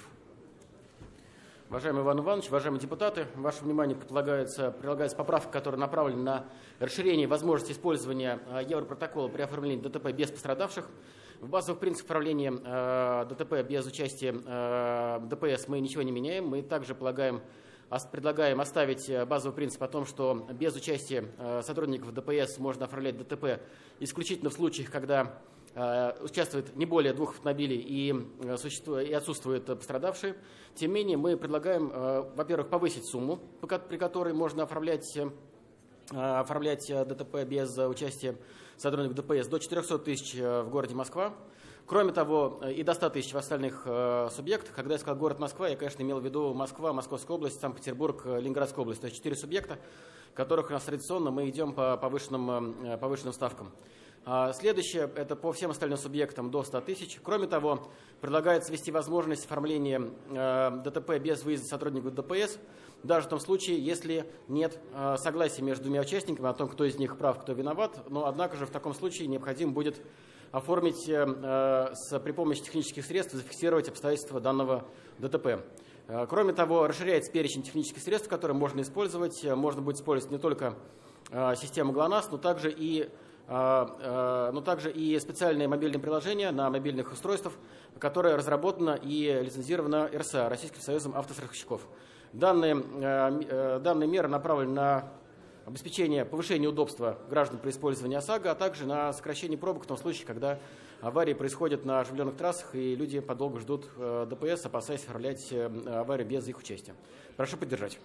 Спасибо, Алексей Владимирович. Присаживайтесь. Со докладом выступает Михаил Владимирович Гулевский.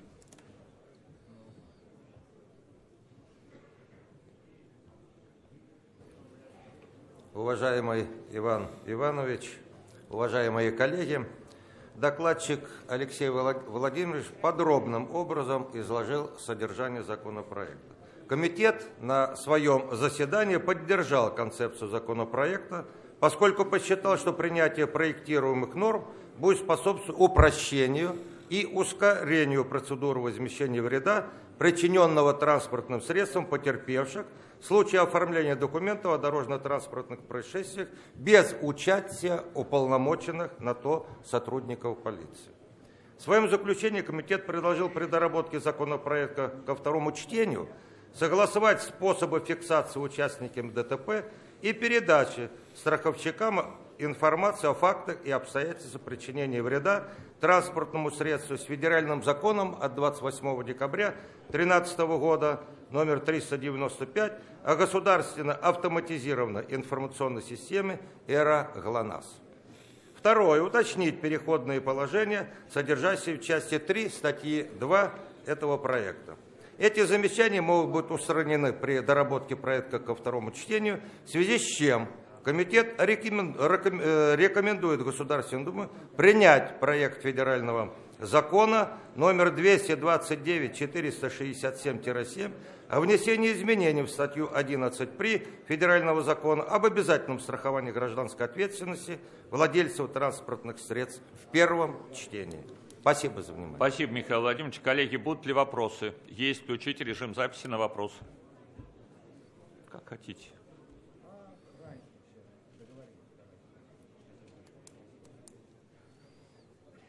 Покажите список. Савельев Дмитрий Иванович. Спасибо, Иванович.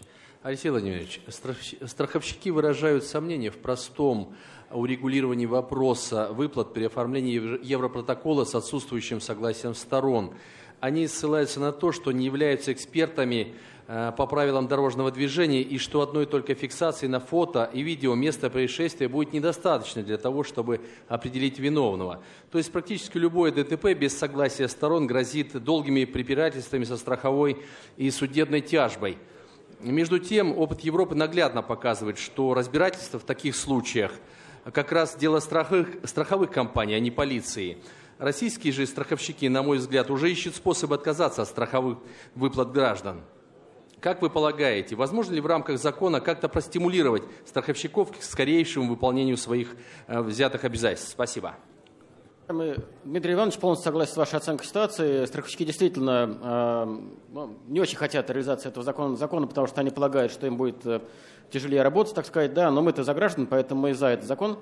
И поэтому э, здесь э, будут действовать случаи, если нет согласия граждан, но есть фиксация э, ДТП. Все равно, понимаете, если э, приезжает туда офицер ДПС, все равно он э, точно так же не видел, кто проехал на красный, кто проехал на зеленый. Да, и поэтому все равно потом происходит долгий разбор. Поэтому в данных ситуациях э, ничего большому счету не меняется. Единственное, что люди не ждут 5 часов или там сколько-то э, сотрудника ДПС и держат всех в пробках, а просто точно так же приезжают на группу разборов те же сроки, которые существуют и сейчас. Спасибо. Боева Наталья Дмитриевна. Спасибо. Спасибо, Иван Иванович. Алексей Владимирович, у меня такой вопрос. А кто будет определять ущерб 100 или 400 тысяч рублей? И будет ли требоваться согласие э, виновника или э, участника аварии? Спасибо. Дмитрий, нет, согласие участника аварии не, не будет требоваться, однако вопрос ваш абсолютно уместный. Это ровно то, почему мы сейчас поднимаем э, минимальную планку. И в частности, в четырех э, э, субъектах Российской Федерации, где наиболее дорогие автомобили ездят, мы поднимаем ее до предела по ОСАГО, для того, чтобы люди не боялись оформлять. Э, ну, люди не должны помнить, сколько стоит фара, сколько, сколько стоит бампер. Поэтому, конечно, мы планку поднимаем. Мы, конечно, хотим в дальнейшем повысить планку до предела предельные лимиты по всем субъектам Российской Федерации. В случае, если э, эксперимент четырех субъектов окажется удачным, мошенничества не будет. Спасибо. Маринин Сергей Владимирович. Алексей Владимирович, о каком совершенствовании идет речь? Вот процедура оформления как была сложной, так она и осталась. Страховщики при желании могут сослаться на неправильное оформление бумаги. Как вы сами уверены, что водители на дороге смогут разобраться с необходимой документацией и не забудет отправить фото и координаты аварии в информационную систему? Сергей Владимирович, никто не лишает э, водителей права вызвать э, э, ДПС. И это их право, которое у них остается. А, поэтому, если водитель не уверен, что они смогут заполнить э, форму грамотно, то у них остается возможность вызвать ДПС. Но я с вами согласен, что форма очень э, сложная, я об этом говорил на комитете. Это не опрос государственного регулирования, это опрос, определяющийся э, РСА, Российский союз страховщиков. Я думаю, что мы будем к ним обращаться с тем, чтобы они эту форму упростили, особенно в случае, если есть фото-видеофиксация, по которой форму можно упростить достаточно радикально, при, при наличии которой можно упростить форму достаточно радикально. Поэтому в этой части я с вами согласен, будем этим вопросом заниматься. Спасибо. Лосаков Вячеслав Иванович. Уважаемый Алексей Владимирович, вы абсолютно напрасно не распространяете опыт Москвы, Московской области, Санкт-Петербурга, Ленинградской области на другие регионы. Уже прошло несколько лет, как этот пилотный проект работает. И нет никакой необходимости еще 10-20 лет ждать для того, чтобы поднять ценовую планку э, до 400 тысяч, как это сделано в этих субъектах. Э, основная причина, почему крайне мало автомобилистов пользуются европротоколом, создавая огромные проблемы всем остальным из-за копеечных там царапин или разбитой фары, это психологическая неуверенность. Очень мало человек разбирается в технической стороне вопроса, и для них 50-100 тысяч э, это э, одно восприятие, а 400 тысяч это уже совершенно другое дело. Поэтому если 400 тысяч будет во всех регионах, дело не в дорогих машинах. Посмотрите, какие машины в Краснодаре, не менее дорогие, за Кавказских республиках. Это не объяснение, что в Москве и Санкт-Петербурге самые дорогие машины. Средний выплат это не больше 30 тысяч на всякий случай по России. Поэтому Добавьте время, пожалуйста. Спасибо. Убедительная просьба все-таки комитету и правительству ко второму чтению поднять эту планку э, до 400 тысяч. А то, что э, страховщики не хотят работать, надо их заставить работать. Пусть не боятся мошенничества, проверяют случаи, создают единую базу и так далее. Э, создают базу аварийных комиссаров, в конце концов. Я, как уже говорил, с вами в целом согласен. Э, э, я считаю, что Вопрос мошенничества в незначительной степени должны быть регулированы через э, возмещение, через натуральный ремонт. К сожалению, еще недавно работают нормы. Я думаю, что вполне уместно будет действительно на комитете подготовки к второму чтению обсудить ваше предложение. Спасибо, Алексей Владимирович. Коллеги, будут ли желающие выступить? Я не вижу. Нет. Ставлю законопроект на голосование. Включите режим голосования.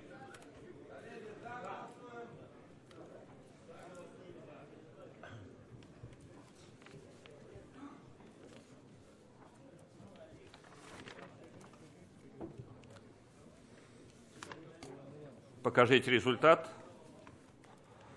Законопроект в первом чтении принимается. 18 пункт. Проект федерального закона о внесении изменений в федеральный закон о Центральном банке Российской Федерации, Банке России. Докладывает Алексей Владимирович Моисеев.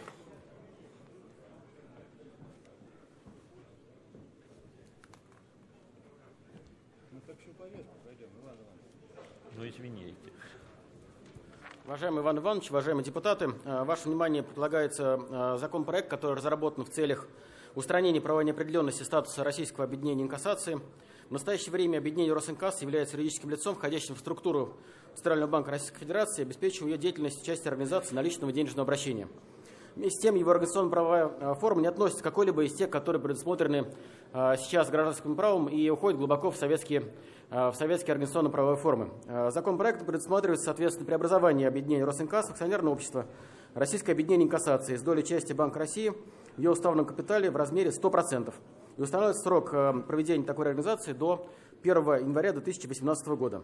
Преобразование объединения Росинкасс в акционерное общество необходимо в целях обеспечения надлежащего контроля в рамках корпоративных процедур со стороны Банка России, а также необходимо проведение в соответствии с действующим законодательством.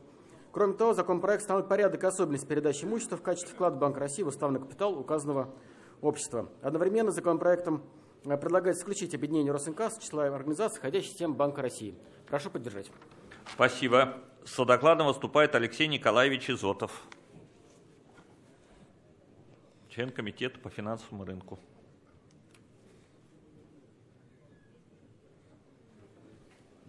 Уважаемый Иван Иванович, уважаемые коллеги, Действительно, российское объединение инкассация а, было создано еще а, в период существования Государственного банка Советского Союза в 1987 году. Вот уже 30 лет неопределенная организационно-правовая форма а, у него существует. Нужно приводить в соответствии с Гражданским кодексом, в соответствии с нашим законодательством.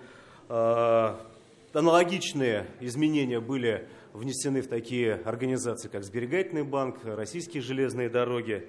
Российская национальная перестраховочная компания, национальная система платежных карт. И аналогичным образом же планируется провести э, реорганизацию, вернее, привести организационно-правовую форму Росинкассации в соответствии с Гражданским кодексом э, Российской Федерации. Э, комитет в своем заключении по законопроекту особо подчеркнул, что реализация заявленных целей законопроекта не должна создавать условий, способствующих возникновению рисков неэффективного осуществления публично-правовой функции Росинкасс.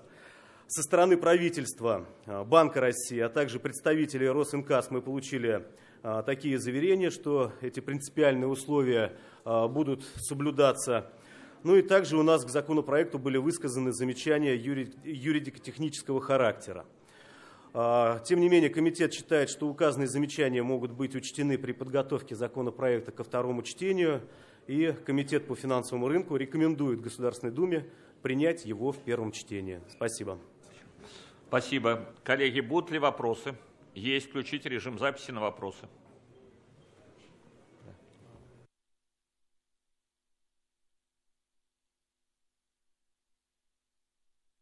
Покажите список.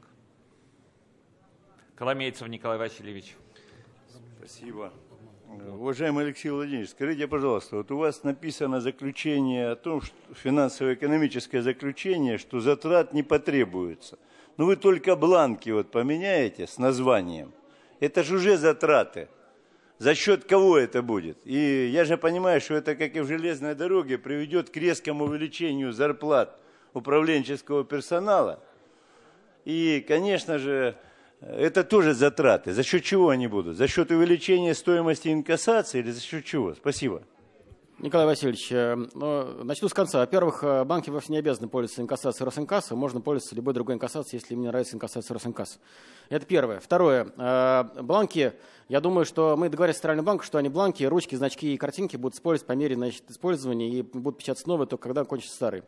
И в-третьих, что касается зарплат, то зарплаты э, в рамках сметы Центрального банка утверждается Национальный финансовый совет, куда входят некоторые представители, в том числе и вашей фракции. Так что, пожалуйста, можете специально поручить им за этим следить. А мы тоже, с своей стороны, пообещаем следить за тем, чтобы резкого роста зарплат там не было. Спасибо. Альшевских Андрей Геннадьевич. Спасибо. Алексей Владимирович, э, ну, первое, хотелось бы спросить, почему так долго мы идем к тому, чтобы э, реорганизовать эту организацию? Самое-то интересное, что еще вот интервью 2004 года от тогдашнего руководства, они тогда уже не поддерживали идеи реорганизации, потому что самая оптимальная форма – это все-таки ГУП. Это первое. Второе. Согласно федеральному закону, раз мы его делаем акционерного общества, все-таки согласно федеральному закону, главная цель и задача акционерного общества – это извлечение прибыли. Насколько э, после реорганизации повлекет э, противоречие с федеральным законом, потому что я не думаю, что они будут работать для э, большой прибыли. Но тем не менее, и не приведет ли это после реорганизации в акционерное общество первый шаг к тому, что потом будут приняты решения о приватизации данного предприятия? Ну, опять же, начну с конца. Э, в законопроекте, который вам предложен, прямо указано, что э, закрепить долю объединения Росинкас э, 100% владения Банка России. Э, и, соответственно, любой э, попытки приватизировать будут, э, во-первых, их не будет, но если они будут, то вы должны будете это согласовывать, потому что это будет прямо написано в законе. Это первое. То есть стопроцентное владение Банка России прямо зафиксировано в законе. Это первое. Второе, что касается того, что акционерное общество такая прибыль, да, так точно. Это так и есть. Однако у нас есть многие акционерные общества, в том числе Э, э, в том числе корпорация поддержки малого бизнеса, которая здесь у вас обсуждалась, э, ровно такой же вопрос задавался Браверману в среду. И он ответил, такой же ответ могу и вам предложить. Да, конечно, это цель извлечения прибыли, при этом это регулируемое общество, и его маржа будет, конечно, регулироваться, регулироваться в том числе в рамках Национального финансового совета, в который входят в том числе и представители Государственной Думы. И последнее, что касается формы, я считаю, что акционерное общество форма намного более удачная. Я должен сказать, что мы это видели на примере, например, Госзнака который тоже стал год назад акционерным обществом. И когда мы э, можем значительно лучше управлять всеми корпоративными процессами через э, корпоративные процедуры, которые предусмотрены э, нашим законодательством, когда это акционерное общество. Когда это непонятно что, извините, то непонятно, как этим управлять. По сути, э, действует только телефонное право, а настоящих юридических э, оснований для того, чтобы вышестоящая организация управляла, нет. В данной ситуации через механизм корпоративных процедур, который зафиксирован и в ГК, и в законе об акционерных обществах, управлять намного легче, отчетность намного прозрачнее. Поэтому я полагаю, что форма акционерного общества, она намного более подходящая, чем э, любая другая. Спасибо, Алексей Владимирович. Коллеги, будут ли желающие выступить? Я не вижу.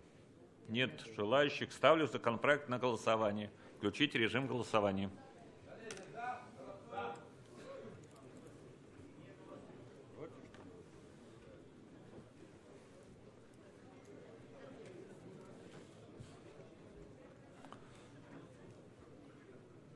Покажите результат. Законопроект в первом чтении принимается. поведению. Николай Петрович Николаев, включите микрофон, пожалуйста. Спасибо, Иван Иванович. Уважаемые коллеги, немножко не по теме, но это важно. Я хочу проинформировать, что э, по той теме, над которой мы все, все фракции работаем, это тема обманутых дольщиков. Сегодня э, Министерство строительства и ЖКХ опубликовало на своем сайте все дорожные карты регионов по э, решению ситуации с обманутыми дольщиками. Я думаю, что это для всех будет важно, особенно перед региональной неделей. Спасибо. Спасибо, Николай Петрович. Действительно, информация очень важная. Прошу всех депутатов ее иметь в виду. Переходим к рассмотрению 19 вопроса. Проект федерального закона о внесении изменений в статью 44 Жилищного кодекса Российской Федерации. Докладывает Галина Петровна Хованская. Пожалуйста.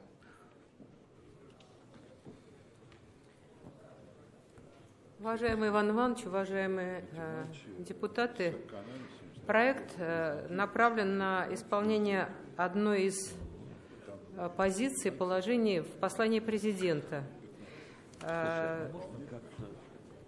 наш президент сказал, что мы направляем в регионы очень серьезные средства. Это 20 миллиардов в следующем году на, на программы благоустройства. И дело принципа, вот это очень важно, да, э, чтобы в принятии решений по использованию этих ресурсов участвовали сами жители.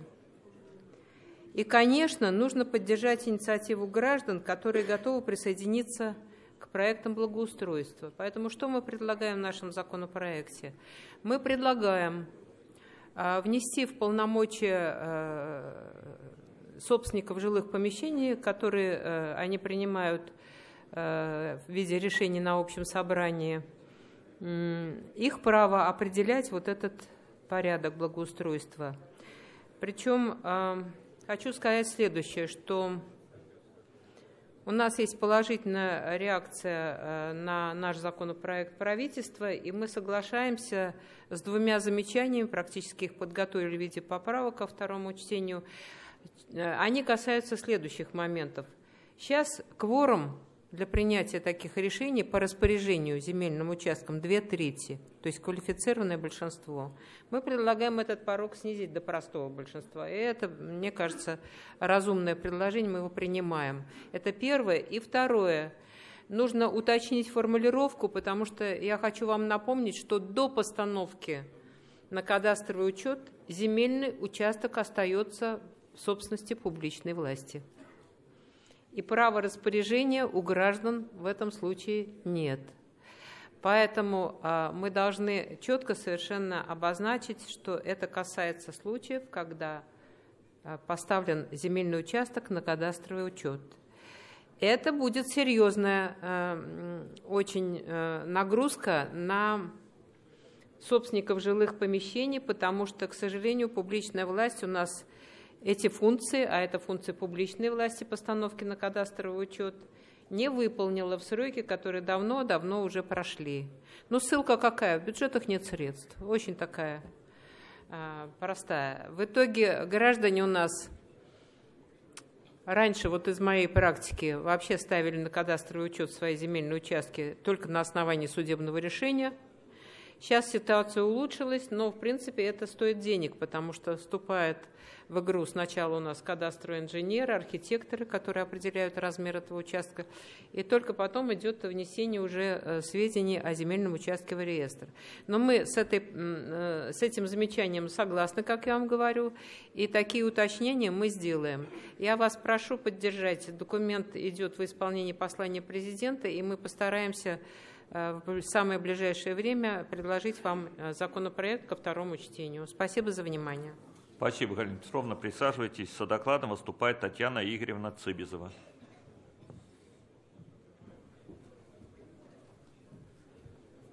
Уважаемый Иван Иванович, уважаемые коллеги, Законопроектом предлагается наделить общее собрание собственников помещений в многоквартирном доме полномочием по принятию решения о благоустройстве земельного участка.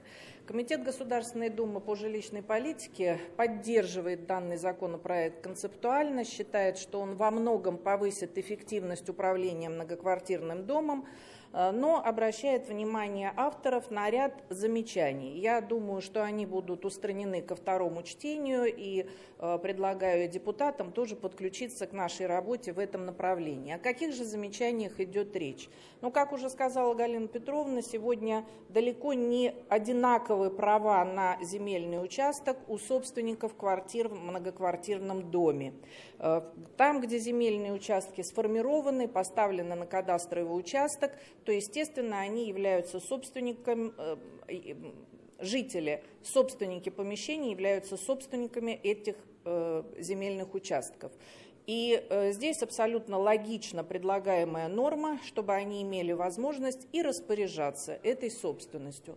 Но есть и многоквартирные дома, которые находятся на земельных участках, собственником которых является публично-правовое образование. И здесь, конечно, совершенно правильно указывает и правительство Российской Федерации, и депутаты комитета о том, что э, только собственник имеет право распоряжаться этим земельным участком. Мы считаем, что это будет во многом дисциплинировать и собственников э, многоквартирных э, помещений в многоквартирных домах и приведет, в общем-то, в нормальную нормальную позицию и эксплуатацию этих земельных участков и придаст больше веса и э, собранию жильцов. Э, правительство Российской Федерации поддерживает э, данный законопроект э, при учете замечаний и обращает внимание еще на, одну, на один момент, что это решение должно приниматься, по мнению авторов законопроекта, двумя третями от собственников помещений в многоквартирном доме. Но вы понимаете, что эту норму практически невозможно соблюсти. Мы даже в ряде других законопроектов уже рассматриваем возможности и проведения конференций, а не общих собраний. Поэтому, конечно, э, авторы соглашаются, и ко второму чтению будет доработана эта норма э, в сторону снижения э, числа участников от принятия этого решения. Э, законопроект был разослан во все субъекты Федерации. Э, получено 85 э, официальных отзывов из представительных и исполнительных органов власти. Только 7 субъектов Федерации не поддерживают данный законопроект. 23 не имеют никаких замечаний к законопроекту. 55 субъектов Федерации поддерживает с учетом замечаний, которые были уже озвучены. Комитет по жилищной политике и жилищно-коммунальному хозяйству Государственной Думы э, предлагает э, депутатам проголосовать за законопроект в первом чтении и продолжить над ним работу. Спасибо, Татьяна Игоревна. Коллеги, будут ли вопросы? Есть, есть. Есть. Включите режим записи на вопросы.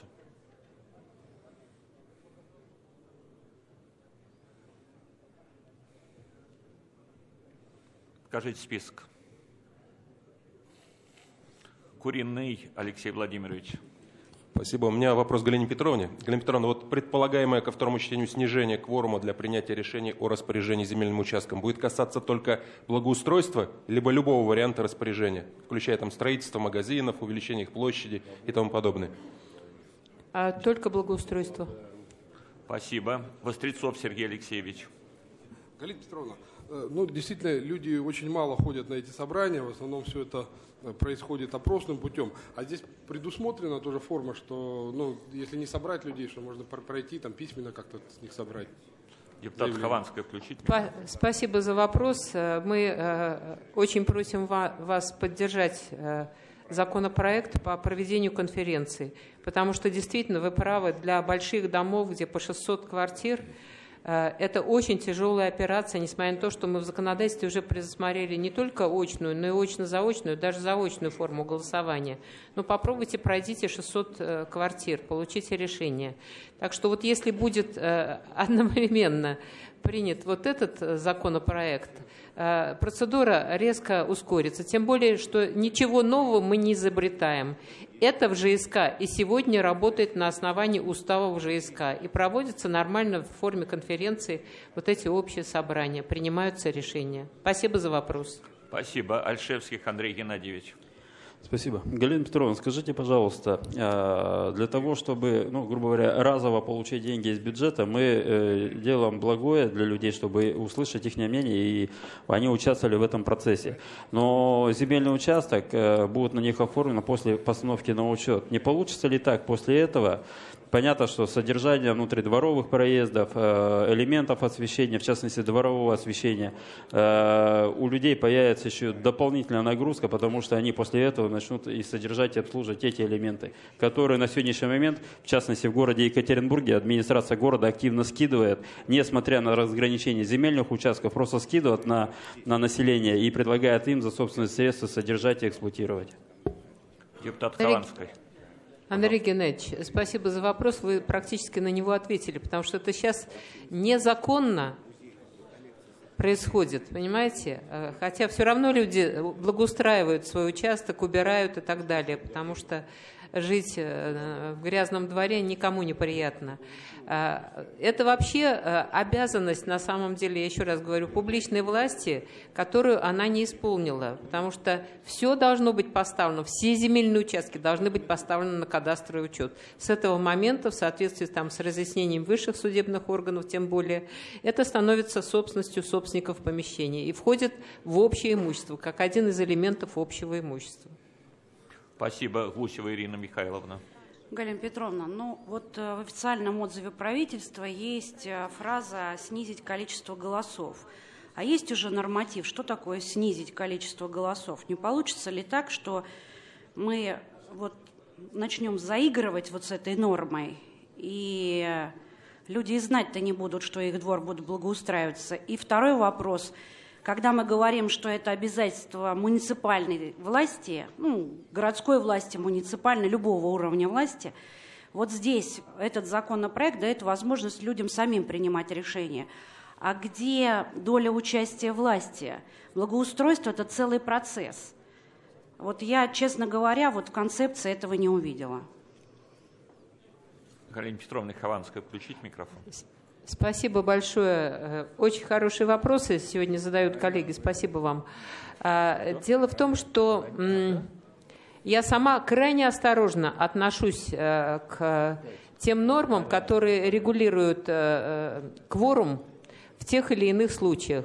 Значит, э, э, есть э, статья и извлечение из нее, когда принимаются решения квалифицированным большинством, а когда они принимаются простым большинством. Так что здесь я ваши опасения разделяю и следить за этим буду, будьте уверены, очень и очень внимательно.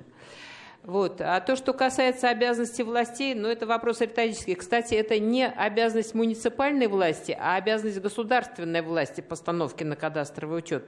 То есть субъект федерации должен был выделять средства такие, вы понимаете?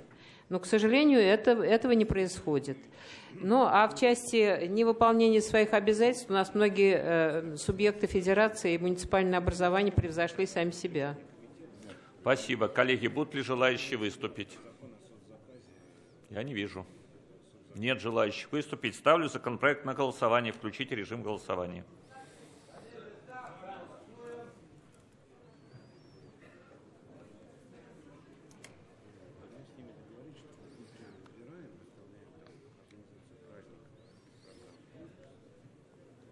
Покажите результат. Законопроект в первом чтении принимается единогласно. 20 пункт. Проект федерального закона о внесении изменений в Лесной кодекс Российской Федерации в части совершенствования регулирования отношений, связанных с использованием лесов, докладывает официальный представитель правительства, заместитель министра природных ресурсов и экологии, руководитель Федерального агентства лесного хозяйства Иван Владимирович Валентик. Спасибо. Уважаемый Иван Иванович, уважаемые депутаты, вашему вниманию представляется проект федерального закона, который направлен на введение типового договора безвозмездного пользования лесным участком. В Лесном кодексе существуют различные способы предоставления прав на лесные участки. Э, уже ранее в соответствии с принятыми изменениями в Лесной кодекс введена типовая форма договора аренды лесного участка – типовая форма договора купли-продажи лесных насаждений. Это антикоррупционные нормы, которые, в общем-то, создают единообразное правовое регулирование и устанавливают стандартный набор прав и обязанностей для каждого договора аренды, для каждого договора купли-продажи, который заключается в любом субъекте Российской Федерации. И бизнес-сообщество, и экспертное сообщество уже положительно отозвалось на принятие данных поправок в лесное законодательство.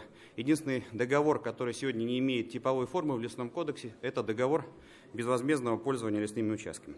В этой связи предлагается в лесном кодексе э, установить такую типовую форму договора аренды договора безвозмездного пользования лесными участками и определить уполномоченный федеральный орган исполнительной власти, который будет утверждать его форму. Э, принятие законопроекта, как я уже сказал, будет способствовать формированию единообразной правоприменительной практики в Российской Федерации. Все необходимые согласования на данный законопроект получены. Законопроект поддержан Государственным правовым управлением президента Российской Федерации, комитетами Совета Федерации по аграрно-продовольственной политике и природопользованию, по федеративному устройству региональной политики, местному самоуправлению делам Севера, Комитетом Государственной Думы по природным ресурсам, собственности и земельным отношениям. В связи с изложенным, уважаемые депутаты, прошу принять законопроект в первом чтении. Спасибо. Пожалуйста, доклад Николая Петровича Николаева.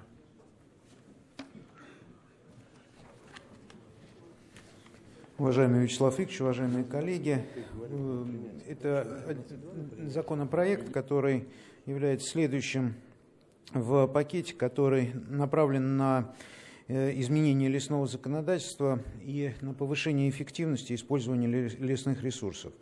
Э, та практика введения типовых э, э, договоров аренды лесного участка, которая уже была введена, показала, что значительно повышается и прозрачность, и коррупционные риски снижаются. Поэтому следующий шаг – это введение вот таких типовых договоров на безвозмездное использование леса.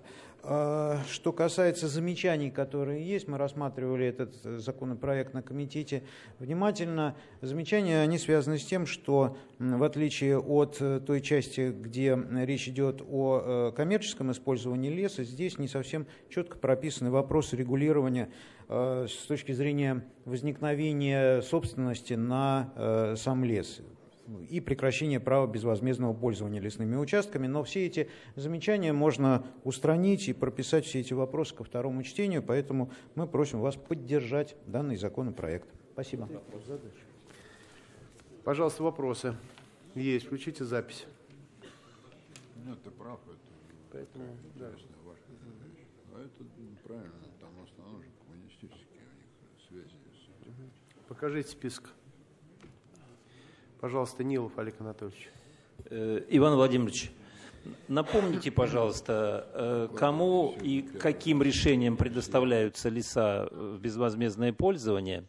И если есть справка, она должна быть у вас. Э, сколько гектар сейчас находится вот в, такой безвозмездном, в таком безвозмездном пользовании? Спасибо. Спасибо за вопрос, уважаемый Олег Анатольевич, уважаемые депутаты. Э, сегодня по договору безвозмездного пользования лесными участками э, участки предоставляются по двум, по двум видам использования лесов. Это использование лесов гражданами для ведения сельского хозяйства, это, как правило, сенокосы и для э, развития пчеловодства, и религиозным организациям для осуществления соответствующей религиозной деятельности. Всего таких договоров заключено достаточно незначительное количество. Значит, точные цифры сегодня такие. Количество действующих договоров – это 2420 штук в Российской Федерации. Общая площадь земельных участков в составе земель лесного фонда, которая занята под э, эти виды деятельности, 406 тысяч 66 гектаров. То есть в сравнении с площадью земель лесного фонда, я напомню, это 1 миллиард 184 миллиона гектаров, это достаточно незначительные площади. И как отметил в своем выступлении Николай Петрович, это некоммерческое использование под те виды, которые я обозначил.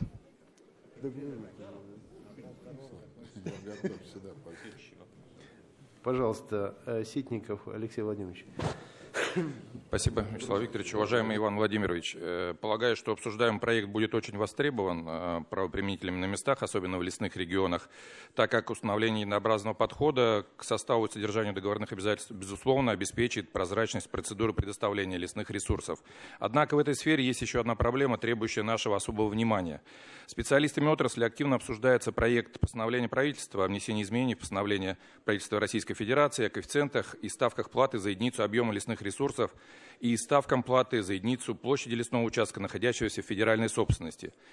Э, проектом предполагается существенно увеличить коэффициенты к ставкам платы за единицу объема э, в сторону э, значительного увеличения. Однако, как свидетельствует анализ поступающих в мой адрес обращений специалистов отрасли, принятие данного нормативно-правового акта в актуальной на сегодняшний день редакции неизбежно приведет к банкротству и закрытию многих предприятий, поскольку затраты лесопромышленников растут и станут неподъемным бременем для развития бизнеса.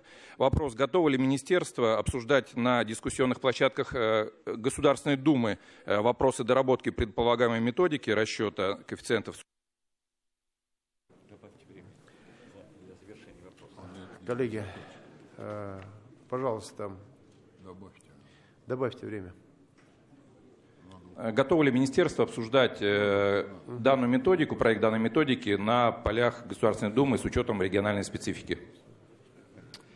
Спасибо, Алексей Владимирович, за ваш вопрос. Э, на самом деле вопрос э, я бы разделил на две части.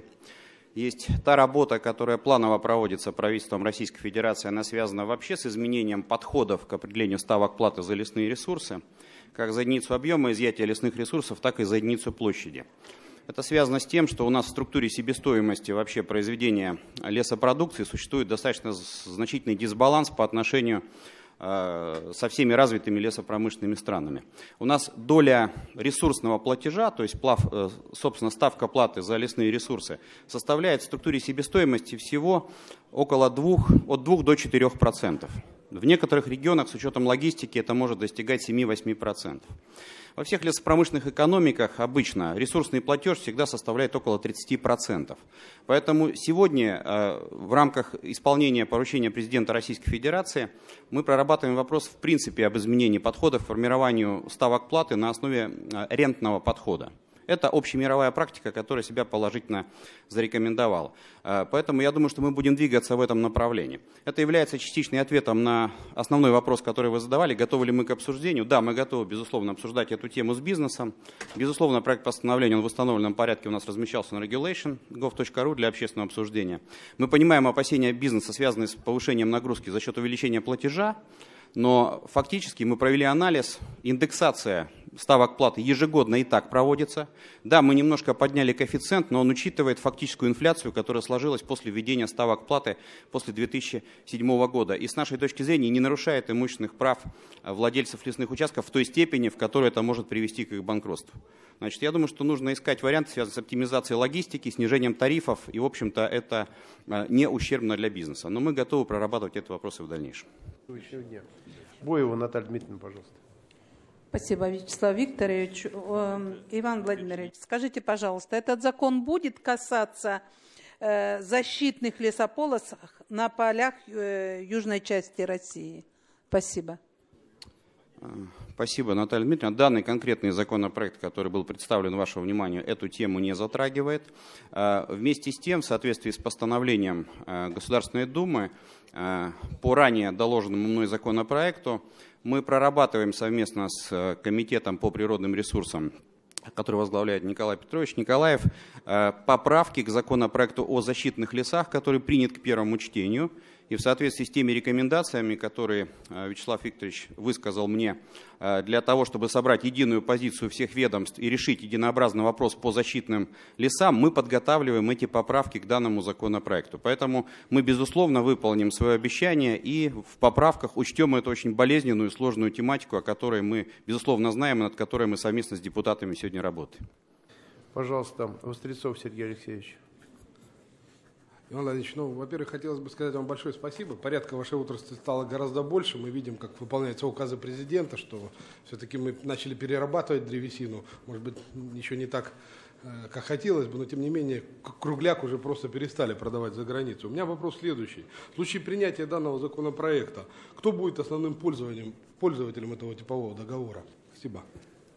Спасибо, э, Сергей Алексеевич, и за высокую оценку тех результатов, которые сегодня э, значит, демонстрирует отрасль, прежде всего лесоводы на местах. А, что касается а, бенефициаров непосредственно от принятия данного законопроекта, я считаю, что это в любом случае в основном граждане, которые занимаются сельско, сельским хозяйством, занимаются сенокошением и развитием пчеловодства. Это основные э, стороны этого договора в субъектах Российской Федерации. Для того, чтобы не навязывались избыточные условия, как раз-таки утверждается типовая форма. Он будет стандартен во всех регионах страны. Э, вторая категория пользователей – это религиозные организации. Очень много сегодня есть, э, если говорить о объектах Русской Православной Церкви, очень много есть фундаментов, которые остались в лесных массивах. То есть это, в принципе, тот инструмент, который позволяет восстанавливать объекты, э, строить новые объекты. И, соответственно, я считаю, что это очень важный инструмент предоставления прав именно для религиозных организаций. Пожалуйста. Центральную трибуну. Коллеги, если коротко, я хотел добавить, что э, было много достаточно обращений относительно э, там, ритуальных рощ, относительно получения участков леса для восстановления скитов. Вот это религиозное. Что касается э, сельхоз, здесь не только э, сенокошение, э, Алтайский край, это э, олени которые э, пасутся, да, это э, Сибирь, Дальний Восток. То есть это все э, вопросы, которые как раз связаны с безвозмездным использованием лесов, и теперь это будет более прозрачно, будут типовые требования и обязательства всех сторон. Спасибо. Пожалуйста, Пашин Виталий Львович. Спасибо, Вячеслав Викторович. Уважаемый Иван Владимирович, как известно, лес – это национальное достояние нашей страны, поэтому считаю, что типовой договор безвозмездного пользования лесным участком должен быть лучше защищен от коррупционных рисков и иных нарушений, чем типовой договор аренды лесного участка утвержденный правительством Российской Федерации. В связи с чем возникает вопрос, планируется ли ужесточение мер ответственности за нарушение договорных обязательств или, или они сохранятся по аналогии с существующими типовыми договорами? Спасибо. Спасибо, Виталий Львович. На самом деле, э, проект постановления правительства, э, о котором вы сказали, который уже сегодня является постановлением правительства об утверждении типовой формы договора аренды лесного участка, проходил все необходимые экспертизы, в том числе экспертизу, которую проводит Министерство юстиции на предмет коррупциогенности. Да, с точки зрения достаточности этих санкций, мы в любом случае, вводя новое регулирование, а это в любом случае согласованная позиция между всеми ведомствами, профессиональным, экспертным сообществом, должны, по крайней мере, на протяжении как минимум трех лет посмотреть на складывающуюся правоприменительную практику. Если окажется, что эти санкции недостаточны, в этом случае, безусловно, мы будем, э, анализируя практику, вносить предложения по изменению соответствующих нормативных актов. Сегодня у нас пока еще нет информации, которая бы свидетельствовала о недостаточности э, тех инструментов защиты прав государства и арендаторов, которые существуют в рамках принятого постановления правительства о типовом договоре аренды лесного участка. Напротив, ту реакцию, которую мы получаем, она говорит о том, что это инструмент, который очень хорошо для, заработал для инвесторов, потому что теперь они понимают, что в каждом субъекте Российской Федерации существуют одни и те же правила игры и они играют по одним тем и тем же правилам, имеют одни и те же обязанности, независимо от конкретного региона Российской Федерации. Спасибо. Кто хотел бы выступить? Есть желающие? Есть. Есть. Включите запись.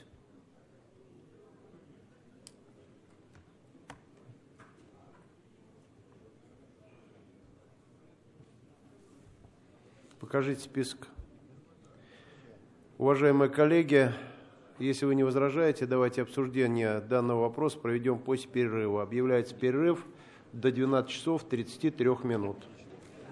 Там только у нас